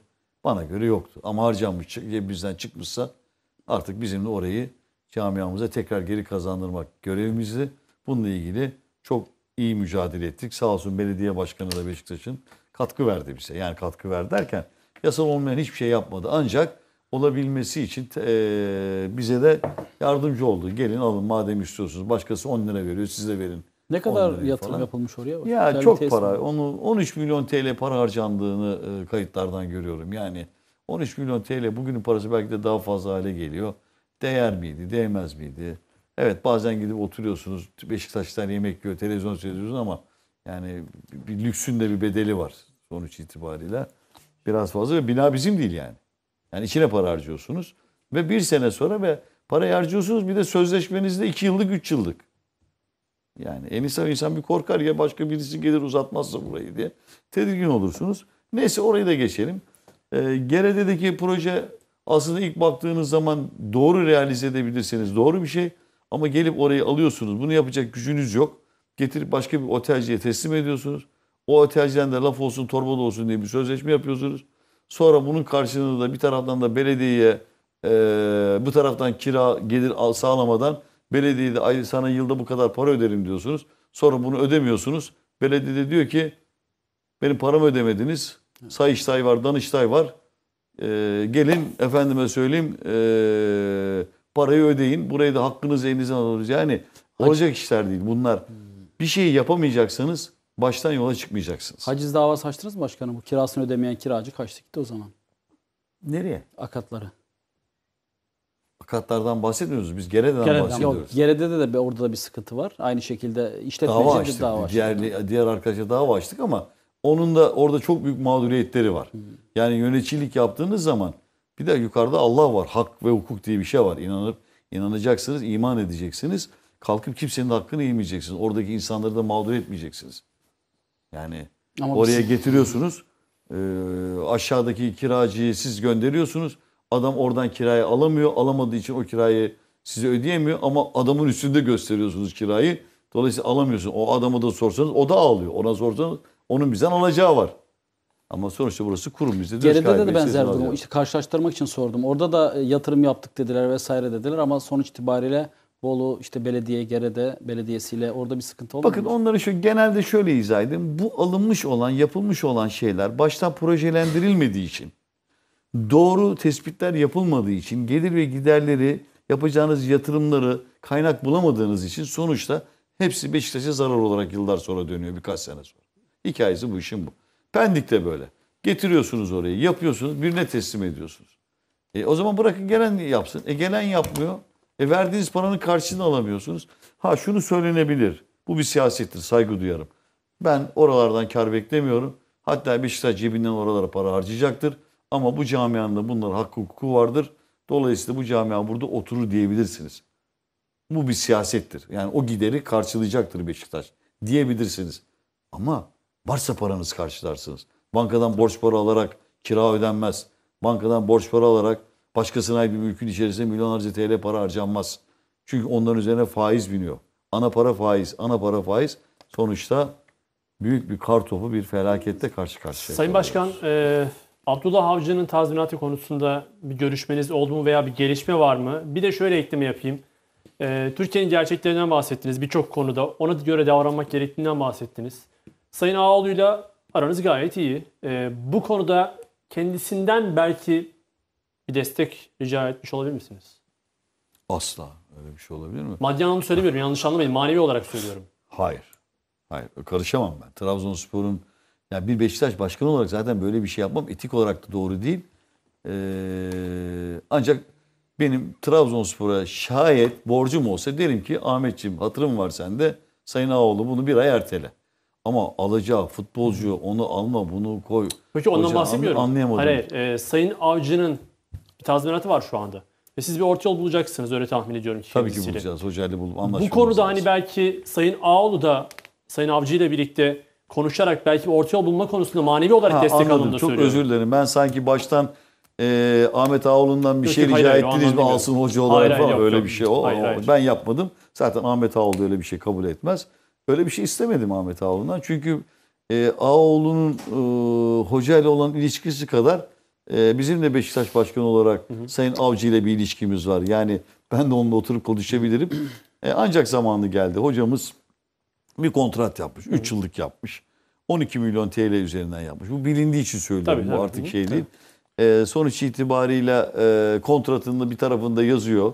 E, iş bulana kadar parası Beşiktaş tarafından e, ödenir. Artı eksik bir şey var ise Beşiktaş bunu karşılar ücretindeki farkı diye yazıyor orada. Dolayısıyla bu konularda hocayla anlaşmamız lazım. Onun da 36 rızasını eksi kaç başkanım? gerekir. 36 milyon TL eksi E, 10 milyon 20 milyon TL hocamızla aramızda 20 bir. Hissiyatınız Ee, ne başkanım? uzlaşmazlık var. Uzlaşma olacak gibi, orta yol bulunur gibi mi gözüküyor yoksa? Buluruz buluruz. Abdullah Hoca e, Türkiye'de e, Beşiktaş'ın hocalığını yapmış biridir. Bu camiayı o da sever sayar. En azından saydığından çok eminim. Dolayısıyla hocamızla biz bir araya gelip oturup bunları konuşacağız. Daha Ye- süreç yeni başladı. Kontratını yeni yaptı. O da orada şey yapıyor. Yani biz hocayla bir şekilde konumuzu çözeriz diye ümit ediyorum. Niye Ümit yollar ediyorum. ayırdınız o zaman başkanım? Ya da Ya özür diliyorum. şimdi- Şöyle sorayım. Hangi sebepler, şartlar Abdullah Avcı ile yollarınızı ayırmanız neden oldu? Ya da o günkü verdiğiniz kararların Sergen Hoca'nın gelişiyle doğru e, olduğunu düşünüyor musun? İnanıyor musunuz verdiğiniz kararın? Valla bir çok iyi gidiş oldu. Sonra da biraz takım kötüye doğru gittiğinde hocamızın yanına gittim. Hocam ne yapabilirim, ne yapmam gerekiyor, niye böyleyiz diye sorduğumda eee, yani benim eee, artık eee, buraya bundan daha başka verebilecek bir katkım olmadığını düşünüyorum dedi bana. Eee, ben elimden geleni yapıyorum ama daha fazlasını eee, yapabileceğimi ve bir şeylerin değişeceğini eee, düşünmüyorum dedi bana. Yani ne yapayım buraya kadar getirebildik dedi. Yani eee dolayısıyla yani özeti şu. Yani benim çok daha fazla verebilecek bir şeyim kalmadı eee, buraya derken onun da kendine göre haklı olduğu şeyler olduğunu sonradan duydum ben. Şimdi ama ben de başkan olarak yani benim ekleyebilecek, verebilecek bir şeyim kalmadı diyen bir hocaya hocam o zaman yolları ayıralım. Eğer kendinizi iyi hissetmiyorsanız, kendinizde bir enerji hissetmiyorsanız demek zorunda kaldım. Böyle de ağzımızdan o çıktı. O da hay hay başkanım dedi. Böyle bir durum oldu. Az önce geçmiş projelerden bahsettik başkanım. Tabii denetim raporu var meşhur. Herkes soruyor denetim raporu ne oldu, denetim raporu ne zaman açıklanacak vesaire diye. Bu konuyla ilgili e, bir beklenti var camiada. Açıklanacak mı ya da ne kadar açıklanacak ya da denetim raporu ne durumda? Geçmişle ilgili e, bir tırnak içine söyleyeyim hesap sor, hesap sorulsun gibisinden bir cümle de kullanılıyor. Siz buna gerçi cevap da verdiniz. Hani hesap sormak bizim görevimiz değil. Bizim sadece görevimiz ortaya çıkarmak diye. O raporla ilgili bir şeyler söylemek ister misiniz? Şimdi ne anlatırsak anlatalım. İnsanlar bunları cımbızlıyorlar. İşlerine geldikleri yerleri alıyorlar. Tamam mı? Kötü niyetli olanlar. Niyetleri eleştirmek olanlar. Sadece eleştirebilmek için eee, bu işlere karışanlar var. E, Şimdi böyle baktığımız zaman ben bir kere daha istiyorsanız özetleyeyim net bir şekilde. Eee, Sayın Serdar Adalı ile bir seçime girdik. Sayın Serdar Adalı çıktı. Ee, ki biliyorsunuz e, eski yöneticiler Serdar Adalı'yı desteklediler. Benim eski çalıştığım arkadaşlar. Ee, ve başkaları da olabilir. Bu bir seçimdir. Sayın Serdar Adalı kalktı dedi ki ben 7 yılı dedi ee, şey yapacağım. İnceleteceğim dedi. Ben de bunun üzerine bu seçim yani. Ben de kalktım dedim ki ben de 10 yılı inceleteceğim. Dolayısıyla bu bir seçimde söylenmiş bir laftı. Bu benim camiaya taahhütümdü. Ve ben taahhütümü yerine getiriyorum. Geldim en uluslararası bu konularda en iyisi olan bir kurumla anlaşma yaptım. Bu kurum şu anda bu incelemelerini yapıyor. 10 yılı inceliyoruz. Bu bir çok önemli süreç. İçinde siz de varsınız. İki, içinde ben varım. Müdahil olmak istemiyorum. Her zaman söylüyorum benle ilgili de bir şeyler çıkabilir. Kötü niyetim yok, art niyetim yok. Bilmeden hatalarım var ise bir zarar vermişsem zaten bunları karşılamak benim mükellefiyetim. Başımı yastığa koyduğumda uyuyabilmek için ölüp de öbür dünyaya gittiğimiz zaman huzur içinde olabilmemiz için bu benim zaten benim prensibim bu. Ama maalesef insanların anlamadığı bir şey var. Bir pandemi yaşıyoruz. Bir koronavirüs 19'la bir belayla uğraşıyoruz. Bu çocuklarımız, bu genç çocuklar. Geçen Şişli Hastanesi'nde koronadan yatıyordu bir tanesi ki işin başı oydu. Biz dedik ki ya Kasım sonu yapacağız, yetiştireceğiz söz verdi. Adam e, Kasım ayını hastanede geçirdi. Şimdi bunlara bir anlayış istiyorum ben camiamdan. Biz bundan kaçmıyoruz. Bu er veya geç yapılacak. Ama bunu yapan insanların hayatlarını tehlikeye atarak yaptıklarını görüyorum. Onların üzerine daha fazla gitme şansım benim yok. Çünkü bu insanlar bu incelemeyi yaparken evrakları ve şunları bunları isterken insanlarla muhatap oluyorlar. Artı bir de sorması gereken sorularla ilgili kişileri arayarak yanlarına davet ederek soruları soruyorlar. Tamamen pandemi, koronavirüsle baş başa başları belada bu genç çocukların. Yani dolayısıyla çok net söylüyorum. Pandemi nedeniyle bu iş uzuyor. Uzamıştır. Uzama nedeni pandemidir. Bu bizden kaynaklanmıyor. Er veya geç bu işi yapacağız. Er veya geç ben bunu çıkaracağım. Sözünü verdiğim üzere yapıp bitiriyorum, bitireceğim ve sözünü verdiğim üzere camiaya bunu önüne koyacağım. O zaman şöyle soruyorum hocam. Camia Başkanım oturacak. Bu işin bir patronu var. Ben Beşiktaş'ın patronu değilim. Patronların genel kurulunun seçtiği yönetim kurulu başkanıyım ben. Dolayısıyla benim genel kurul benim patronumdur. Onlarla beraber karar vereceğiz. Ama sonuç itibariyle ben burada çıkan sonuçları her bir şekilde değerlendireceğimi Beşiktaş camiasına buradan söz veriyorum. Ne olur artık bu konuyu sanki ben erteliyormuşum, ben bu işi yapmıyormuşum gibi düşünmesinler. Kesinlikle yapılacaktır. Kesinlikle bu inceleme bitecektir. Bittiği zaman da bir şekilde paylaşılacaktır ve gereği de yapılacaktır. Bu kadar. KPMG raporu için bir yıl bir ay oldu başkanım. Ee, tahmini süre yani bir 6 ay 5 ay ne kadar daha sürer? Bir yıl 10 10 gün evet. Sevgili Bir yıl, bir Fatih'ciğim oyun. bir yıl bir yıl beklemiş. Millet 7 sene beklemiş. Ya beklese bir 77 gün daha ne olur? Yani gerçekten insanlara bir tarih veremem ben. Çünkü verdik. Adamlardan 3 kere tarih aldık. Verdik. Üçünde de önümüze koronavirüs e, belası çıktı. Yani ne yapabilirim? Ben benden kaynaklanan bir şey değil ki bu. Bunu insanlar anlamıyor. Neden anlamıyorlar? Çünkü tedirginler. Geçmişte yaşadıklarından dolayı onlara da hak veriyorum. Diyorlar ki daha evvel böyle şeyler yapıldı, yapıldı, yapıldı, yapıldı. Açıklanmadı, üstü örtüldü falan diye tedirginlik var. Onları da anlıyorum ama ben de buradan diyorum ki söz veriyorum. Ben bu çalışmanın içerisindeyim. Yani içerisinde derken yaptıran tarafım. Yapılması ve bitmesi için uğraşan tarafım. Ve bittiği zaman da bunları açıklayacağım. Ve gereğinde yapacağım. Yapılması gereken bir şey var ise gereğinde yapacağım diyorum. Buradan daha fazla bir şey söyleme şansım yok. Ee, şimdi Ya. bana göre bir iki aylık iş kaldı dediler. O bir ayda Kasım ayının başıydı, sonundaydı. Ee, Covid'den dolayı ertelendi. Herhalde çocukcağız e, ismini vermiyorum şu anda tabii. Onlar da şey çocuğun adını. O da bir, bir rahatsızlık geçirdi Covid'den dolayı. Bir ay falan bir ertelendi 27 25 gün falan. E diyelim ki bir ayda ertelenmiş olsun. Araya yılbaşı girdi. Biraz daha temkinli çalıştıklarını düşünelim. Bir ay daha olsun. Yani bu iş herhalde 3 ay olmaz. Bilemediniz. Bir ay, iki ay içerisinde açıklayacağız yani bunu. Kulüpler, Bitirmiş olacağız. Kulüpler Birliği toplantısı herhalde bugün e, vardı başkanım. Hatta Erdoğan Arıkan da bir tweet atmış. Keşke toplantıda bir karar alınsa da kulüpler hakemler hakkında konuşmayacağız diye bir karar alsa diye bir tweet atmış Erdoğan Arıkan bizim e, spiker abimiz.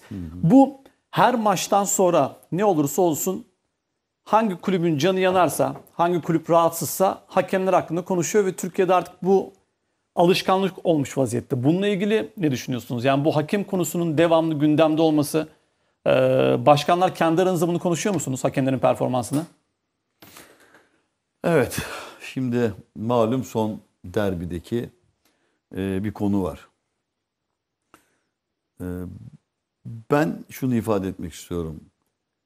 Kesinlikle genç hakemlerin görev yapmasını istiyorum. Nasıl bir genç kaleciyi kaleye koyup oynatıp onun yetişmesini sağlamak ancak mümkün oluyor ise hakemlerin de maç yöneterek, hata yaparak iyi birer hakem olacaklarını biliyorum. Geçmişte bir sene olmadı. Ben söylediğim tek bir laf var. Tekrar arkasındayım. Aynen duruyorum. Dedim ki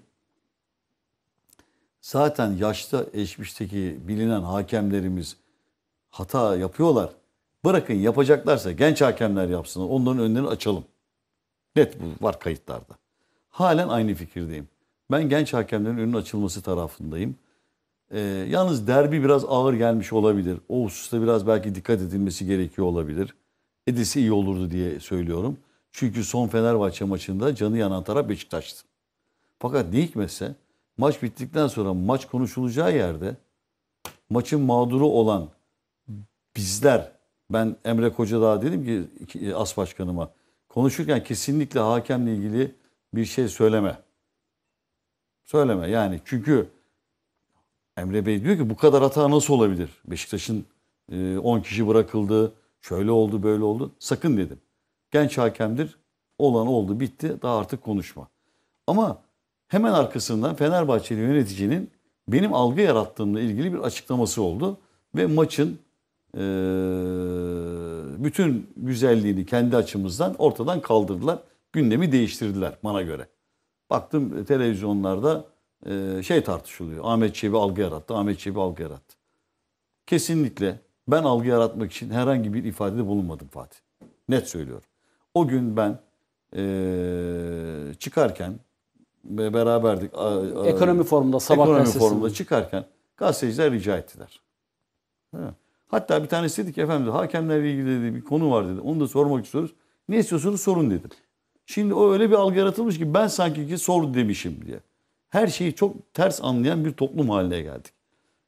Net bir şekilde bize de soru soruldu. Yani böyle bir durum var. Zaten günlerden beri hakem açıklandığından beri yok hakem şöyle bu şirketlerde çalışıyor. Yok hakem babası şöyle falan filan diyerek e, bir algı yaratıldı. Buna cevap vermesi gereken Fatih'ciğim keşke Fenerbahçe kulübü ben bana bu soru sorulmadan evvel bunu açıklasaydılar. Hani benden sonra açıklama yaptılar ya. Çok güzel bizle alakası yoktur şu bu. Çok güzel oraya kadar. Ama arkadan devam etti. Ben algı yaratıyorum dedi. Ben algı falan yaratmak için yapmadım. Eğer yapılmışsa hakikaten böyle bir algı oluşmuşsa özür dilerim. Ama inanın bana bütün samimiyetimle söylüyorum. Hakimi algı altına almak için, e, bir algı yaratmak için, baskı altına almak için bir, bir şey yapmadım. E, zaten de hakem baskı altına alınmadığı belliydi zaten maç bittiğinde yani. Sayın Başkan ama yani bu öyle bir şey algı, zaten hakem alınmamış. algı konusunda şöyle bir durum var. Sadece sizin söyleminizden dolayı bunu söylenmedi. Ee, Beşiktaş sosyal medya hesabından bir paylaşım yaptı. Fenerbahçe derbilerinde verilmeyen ee, Sonra. penaltılarımızdan diye. Sonra. Sonra. Bakın ne olur. Hakem performansı diyordunuz. Ee, şimdi bakın o sonra yani e, benim o açıklamamdan sonra ben böyle böyle bakın açıklamamı tekrar söylüyorum.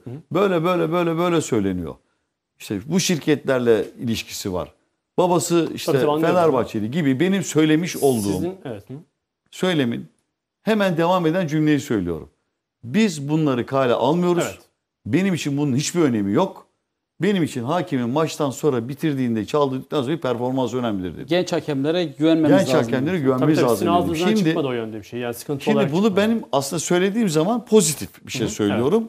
daha evvel federasyonun veya Fenerbahçe'nin yapması gereken açıklamanın yapılmaması nedeniyle süre gelen bu algıyı aslında ben nokta koymaya çalıştım. Fakat bu fa- fa- farklı e, anlaşılmış, farklı algılanmış. E, yani ben o niyetle yapmadığımı sadece söyleyebilirim. Artı Fenerbahçe camiasına benim saygım var. Bu sene Ali, Ali Koç beyefendiyle benim son derece saygın bir ilişkim var.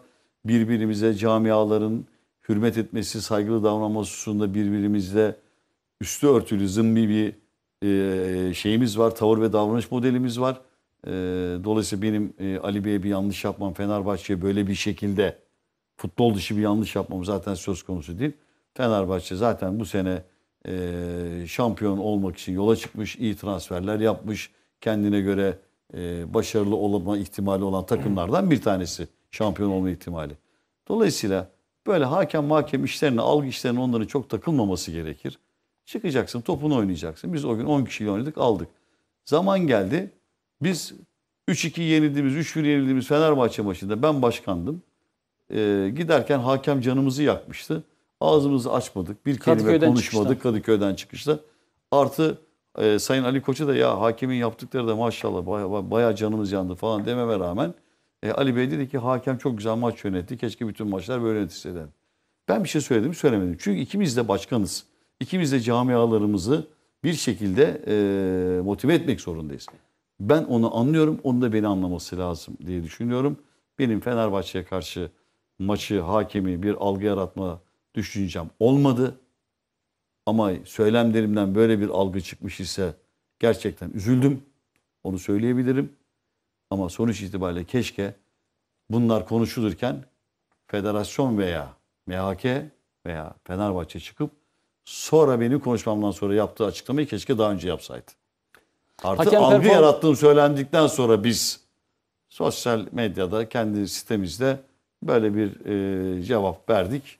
Artık e, başka türlü bir şeye geldi o artık. Eğlenceye dönüştü o iş. Öyle kabul Futbolun edelim. sorunları büyük, camiaların e, yakınlaşması, bu sorunları birlikte aşması önemli. Fair play çok önemli. Buna değer veren başkan ve yöneticiler de bizim için kıymetli ama tabii ki hakem performans üzerinden nasıl bir değerlendirme yaparsınız başkan? genç hakemlere tekrar görev verilmesini şey yapıyorum, e, tercih ediyorum e, ve talep ediyorum. Arkasındayım söylediğimin. E, hatalar hakemler yapacaktır. Bizler de hakikaten zaman zaman söyleneceğiz.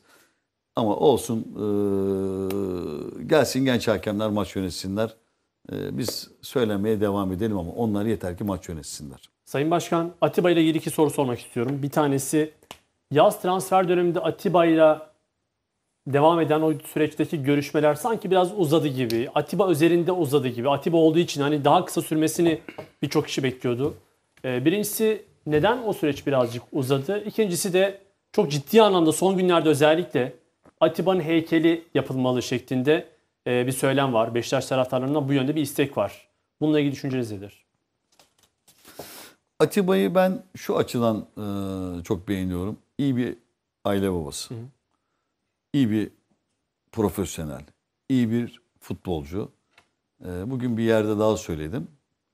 E, yabancı sayısında kısıtlamadan daha önemlisi gelecek olan yabancıların tarifini iyi yapabilmeliyiz. Atiba Türk futboluna, Türk futbolcularına, Türk gençlerine örnek olabilecek iyi bir profesyonel yabancı futbolcu. Onun için Atiba gibilerin Türkiye'de futbol oynaması hem Türk futbolu açısından hem de Beşiktaş açımızdan son derece önemli. Ee, Atiba da biraz e, şey pazarlığı seviyor. Ben de seviyorum. Dolayısıyla gecikmenin nedeni biraz fazla pazarlık ettik. O da istediğini almadı. Ben de istediğimden e, imza attıramadım. Ortada bir yerde buluştuk öyle söyleyeyim. Biraz uzama nedeni Bu o. konuda bir öz eleştiri yapıyor musunuz o pazarlık sürecinde? Niye eleştireyim ki kendimi? Ben Beşiktaş'ın menfaatleri için yaptım bunu. Neyin eleştireceğim? Atiba olduğu için soruyorum yani. Hayır asla. Hayır. İmzayı atana kadar benim için hepsi e, bir yerdedir. İmzayı attıktan sonra kucaklarım ama atana kadar önce Beşiktaş'ın menfaatleri. Sevgili arkadaşlar o kuruşları, o euroları öderken neler çekildiğini ben biliyorum. Dolayısıyla Beşiktaş'ın menfaatini korumak adına yapmış olduğum pazarlıkların hiçbir şekilde pişman olmadığımı söyleyebilirim. Bugün de Heykeli yapmış. konusunda Heykelini tabii ki e, diksinler. Ben de başında dikilirim. Fark etmez. Heykelin dikilebilmesi, dikilmesi benim ona namütena ücret vermemi gerektirmiyor. Ben Beşiktaş adına pazarlığımı yapmak benim mükellefiyetim. Ben kafamı yastığa koyduğumda görevim olan Beşiktaş menfaatlerini korumayla ilgili görevimi yapmış olmalıyım. Ama Atiba'yı da kaçırmamalıyım. Ben ikisini beraber at başı getirdim. Başkanım Tosic ayrıldı. Biliyorsunuz eski oyuncunuz. Sizin de sevdiğiniz bir oyuncu. Severim Tuzcu. Var mı onunla ilgili bir, olabilir mi Ocak ayında onunla ilgili bir Kendisi gelişim? bayağı istekli galiba. E, Yani şimdi e, Tosic, Marcelo e, çok kıymetli futbolcularımız geldi geldi geçti. Bunlar Beşiktaş'ın marka değerini yükselttiler. Dışarıya da gittiler. Çok pozitif e, bize paralar da kazandırdılar. E, ama tekrar geriye gelebilmeleri konusunda e, şartlara bağlı bunlar. Yani e, kalkıp da gittikleri ücretlerle geri geleceklerse mümkün değil. Başka ücretler olacaksa o gün tabii konuşuruz ama e, bir de tabii ki hocanın oynattığı futbol nedir, ne ister e, yani o da bizim için önemli. Şimdi ben isterim de hoca eğer Tosic gibi birine ihtiyaç duymuyorsa benim istemem sadece e, dilimde kalır. Rıdvan'la Atakan'a tekliflerin geldiği söyleniyor. Bir de güvene. İstediğiniz talepleri, beklediğiniz talepleri alamadınız mı yoksa biraz daha değer kazansın diye mi? Aldık aldık az artmaları lazım. Fiyatlarını biraz da arttıracak alıcılar. Kulüpleri açıklar mısınız başka Yok ülkeler yok yok, falan? yok nazar nazar der öyle bir şey yok. Ço- çocuklarıma nazar der. Onlar top oynuyorlar bu sene bana lazım. Yok. Sayın Başkan bir de hükmen, hükmen mağlubiyet konusu var. Ee, bu yönde sanırım bir karar çıkacak gibi görünüyor ligin ikinci yarısı için. Pandemi dönemi dolayısıyla yeterli oyuncu sayısını sahaya çıkartamayan takımlar için. Sizin bu konudaki görüşünüzü merak ediyoruz. Şimdi maç oynanmadan eee,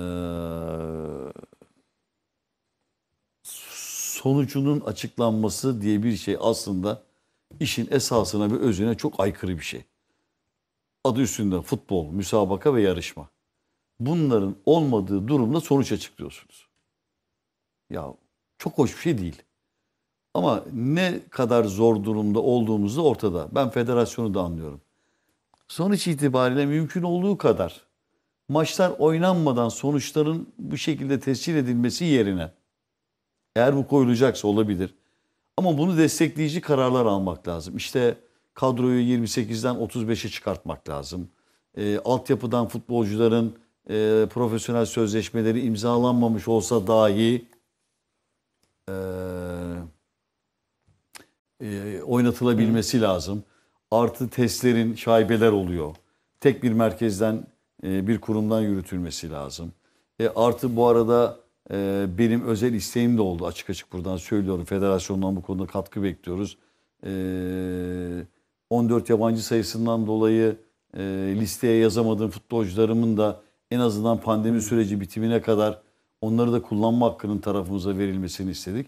Tüm bunlar olabilirse zaten çok rahatlamış olacağız. Yanıt o zaman ona? bu uygulanabilir. Ee, üzerinde çalışıyorlar. Ee, umarım pozitif cevap alacağız. Sizinle birlikte başka bu yönde talebi olan kulüpler var mı? Yani her birimizin kendimize göre talepleri oldu. Her, herkesin aklı çok fazla olduğu için her birimiz birer tane bir şey söylüyoruz. Benimkiler mesela 14 yabancı sayısını ne olur şu süreç içerisinde madem 3-0 mağlup kabul edilecektir e, sayı tutmazsa diyorsanız o zaman bunu bize hak olarak önümüze verin.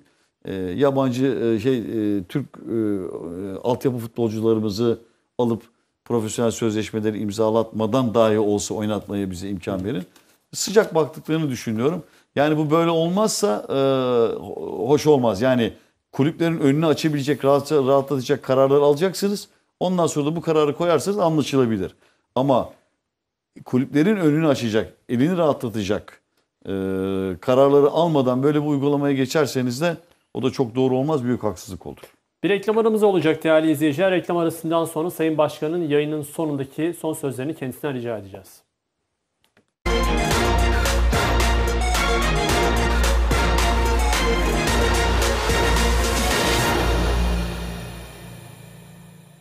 Özel yayınımız devam ediyor. Fatih Doğan'ın sorularıyla devam edeceğiz. Sorular çok.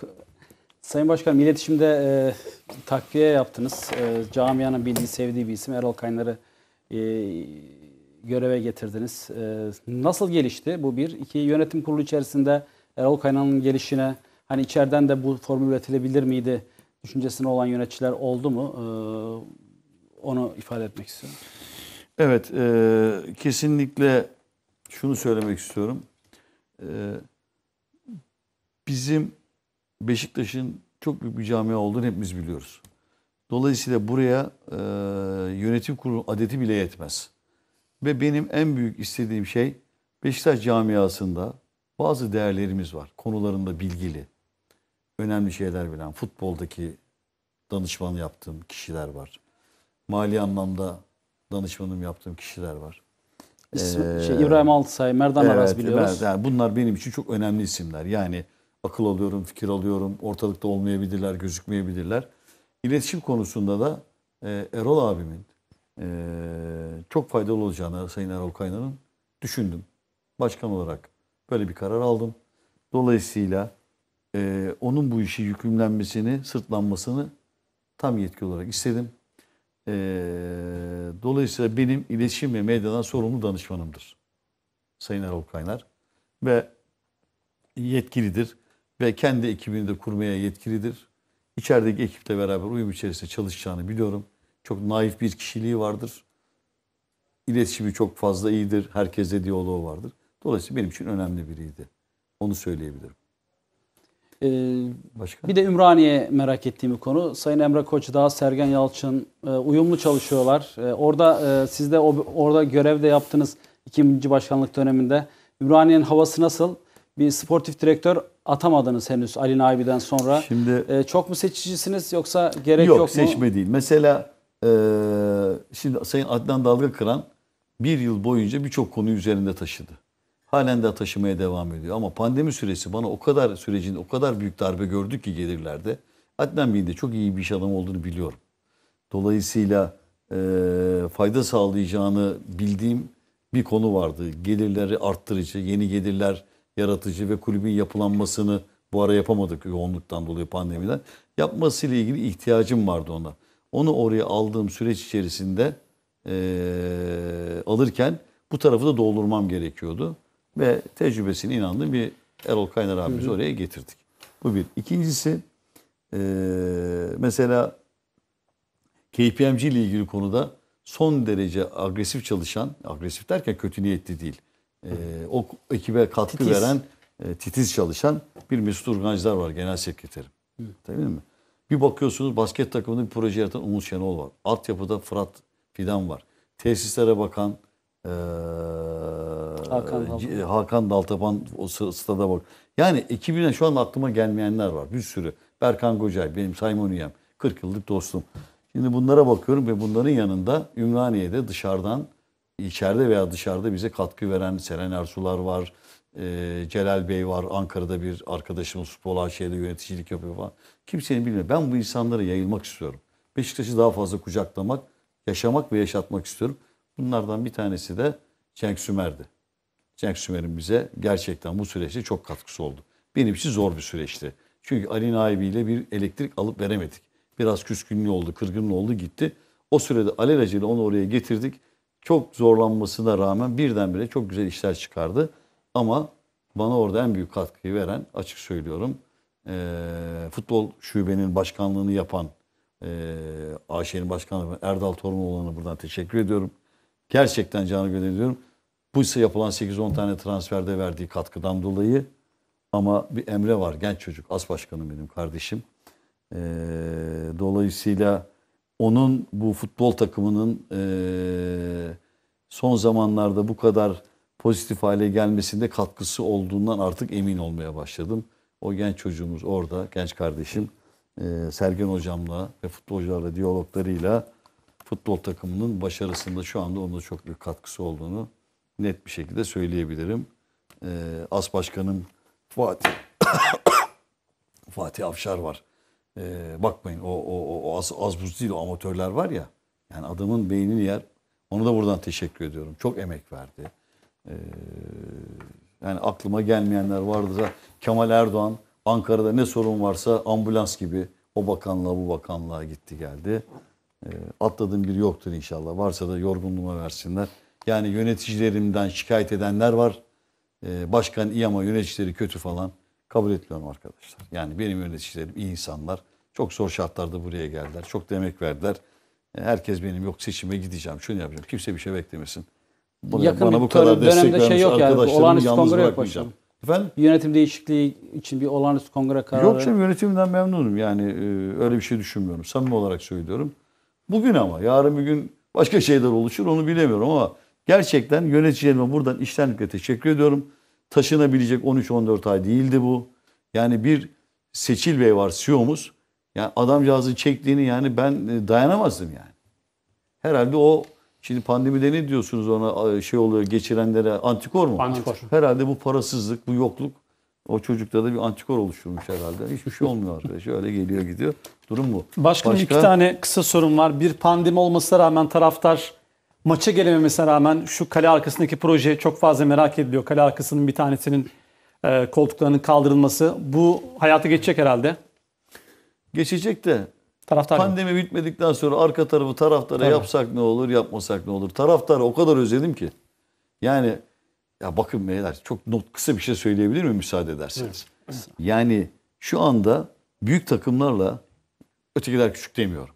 Yani üç büyükler diye malum bilinenlerle diğerleri çataçat mücadele ediyorlar. Yeniliyoruz. Antep'e yeniliyoruz. Gençler Birliği onu yeniyor, bunu yeniyor falan filan. Ben düşünün düşünün arkasına ne çıktı biliyor musunuz? Seyirciyle ve seyircisiz oynamanın büyük kulüplere dezavantajı olduğunu gördüm.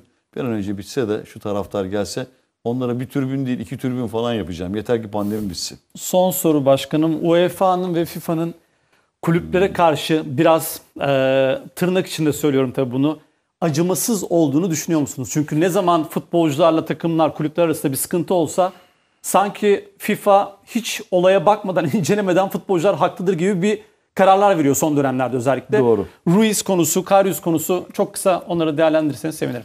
Tabii Ruiz ve Karius konusunda şunu söylemek istiyorum. Karius zaten sözleşmesi bitmişti. İki ay erken gitti. Bıraktı bize gitti. O parayı aldı mi? O Tamam, o parayı o aldı. istiyor ve e, kalktı e, UEFA bunun dedi ki parasını ödeyeceksin dedi. Ruiz buradan e, Nisan-Mayıs ayında maaşlarını almadığını deklare ederek e, çekti gitti ve e, ihtarname çekti ve o ihtarname nedeniyle şu anda 2 yıllık alacaklarını e, talep ediyor. Ne garipse bizde 1 milyon 700 bin euro oynayan arkadaş gitmiş Real Betis'te 300-400 bin euro oynuyor. İnsaf adama sorarlar. Bunun bir tanesi doğru. Hangisi doğru? Sen kaç paralıksın? Nesin? Yani bu UEFA'nın bile bunu yargılamaması e, hoş değil. İkincisi O- e, UEFA di- veya her neyse mahkemeler diyelim. Ve işin ilginç tarafı şu. Kendileri çıktılar açıklama yaptılar. Dediler ki pandemi başladığında Mart-Nisan ayında bu futbol oynanmayabilir. Dolayısıyla oynansa dahi bir yıl boyunca kulüplerimizin içinde bulunacağı mali sıkıntıları erteleyeceğiz. Aa hiçbir şey yok. Öyle bir şey olmamış. Dünyada pandemi pandemi bir tek bizi buldu. Seyirci gelmiyor. Sponsor diyor ki fiyatını düş. İşte yayıncı kuruluş diyor ki e, şu var bu var fiyatını düştü. Herkes bizden istiyor. Ama futbolcu arkadaşlarımızın bize yaptıkları uygulama bazılarını tabii gidenleri kastediyorum. Ve bize bu şeyi davet eden bu hak ve hukuk değil. Buradan sesleniyorum. Sanki UEFA bir futbolcu sendikası gibi hareket ediyor. Eğer kulüpler olmazsa bu futbolcular nereden para alacaklar? Nerede top oynayacaklar onu da ben bilmiyorum. UEFA'yı bu konuda tekrar tekrar ikaz ediyorum buradan. Yazı da yazdım. Yarın göndereceğim imzaladım UEFA başkanına. Net. Bu doğru değil yaptıklarınız diye söyleyeceğim. Durum bundan ibarettir. Ee, başka? 10. ay itibariyle 2020 Divan Kurulu'nun 3. dönem raporu önümde başkanım. Ee, burada 3 milyar 600 küsür Beşiktaş'ın borcu gözüküyor. 3376. Evet. Bu rakam e, biraz artış da göstermiş. Mevcut gelirler azaldı. Anlattınız onları. Bundan sonraki yol haritanız nedir Sayın Ahmet Nur Çebi? Yönetiminizle birlikte e, bir yıl aşan bir süreniz var. E, şampiyonlukta her şartta kovalayacağınızı, iddialı olduğunuzu söylediniz. E, camiada sizden bir mesaj bekliyor taraftar. Bundan sonraki stratejinizi 2 artı 7 anlaşma olursa bunu sizi ne kadar rahatlatacak? Bunlarla ilgili genel bir değerlendirme yaparsanız teşekkür ederiz. Evet 2 artı 7 biraz nefes aldırır Fatih Bey. Herkesin beklediği gibi sorunlarımızın dört dörtlük çözüldüğü bir çözüm yok karşımızda. Biz de bunu hak ettik mi ettik. Artık buradan ders alarak kendimiz bu işi nasıl yaşayacağız bunu formüle etmemiz lazım. Ama millet beklemesin öyle. Oradan yapılandırma oldu. Öyle hortumla su falan akmıyor. Yok yani hafif nefes almanızı sağlayacak. Hani dedik ya elektrik parasını bile öderken zorlanıyoruz. İnsanlar bana kızdı.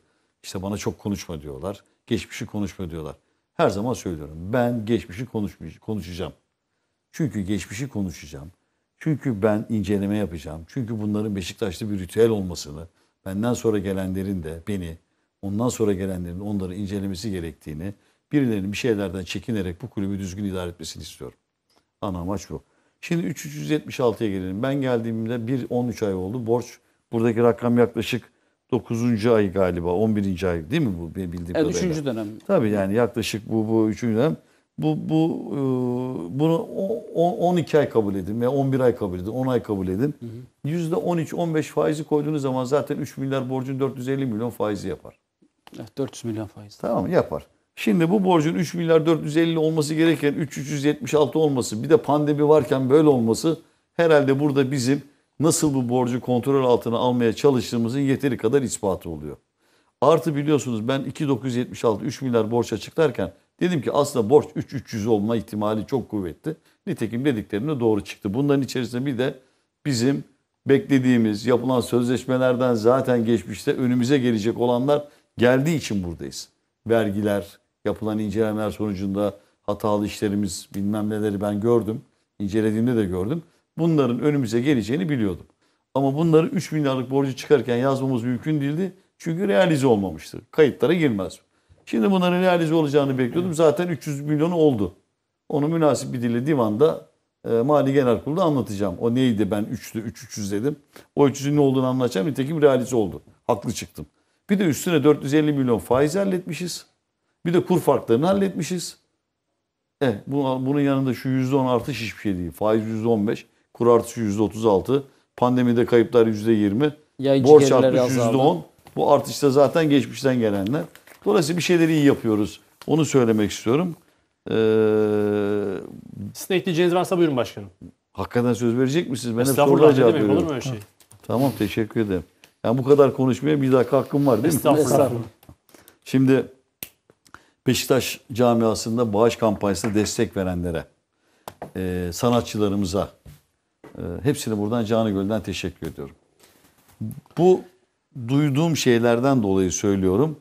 Efendim vay efendim niye çıkmışız da Beşiktaş'ta kampanya yapmışız da para toplamışız da topladığımız para attığımız kuş kurbağayı kurbağayı ürkütmüşüz ürkütmemişiz gibi söylemler var. Ya bunu söyleyenlere el insaf diyorum. Ben baştan beri dedim ki ben bunu yaparken manevi bir birlikteliği arkasında amaçlıyorum. Bu bir. İkincisi gelen 70-80 milyon TL'yi para bırak e, çok önemsemiyorsanız bu kulübe giderken niye bırakmadınız 70 bin lira 700 bin lira parada 80 milyonu 70 milyon Beşiktaş camiasının bağış yaptığını küçümsüyorsunuz? O biliyor mesaj kime gittiğini biliyor. Ya en azından bir katkı verseydin. Giderken bari bıraksaydın her zaman söylüyorum. Burada bu kadar çay içtin, kahve içtin, uçağına bindin, takımın indin, bittin. 500 bin liradan bırakamadın. Sıfır bakiyeyle gittiniz buradan. Bir de kalkıyorsunuz bağış kampanyasında Beşiktaş'a para veren, bağış edenleri küçük düşürecek laflar ifade ediyorsunuz. Arkadan da beni başkan olarak değdi mi yaptığıma. Değdi kardeşim. Ben şimdi 500 bin lira Beşiktaş'ın kasasına para girecekse buradan Beşiktaş stadına kadar koşarım. Bu kadar basit. Kimse beni bu şekilde yargılamasın. Beşiktaş camiasına da böyle bu şekilde yapılan yardımları vay efendim ufacıkmış, büyükmüş, küçükmüş değil. Çok büyük paraydı. Ben o parayla 5 aydır kulübü idare ediyorum. O kadar büyük bu para. Bereketli paraydı. Çünkü hepsinin alın teriyle getirdiler koydular o parayı oraya bir. İkincisi bu kampanya halen daha devam ediyor. Bazı iş adamlarımızla konuştuğumda, görüştüğümde bir süreçten geçtiklerini doğruydu, haklıydı. Halen daha söylüyorum bizim Şubat sonuna kadar özellikle biz onu 31 Aralık diyoruz. Sonuna kadar kampanyamız devam ediyor. Bağış yapacak olanların bağış yapmalarını 100 liranın, 100 bin liranın, 50 bin liranın bile çok önemli olduğunu burada vurgulamak istiyorum. Bu saate kadar yazdan beri gelen bağış paralarıyla kulübümüzü ayakta tuttuğumuz için camiamda, taraftarımla gurur duyduğumu da beyan ediyorum.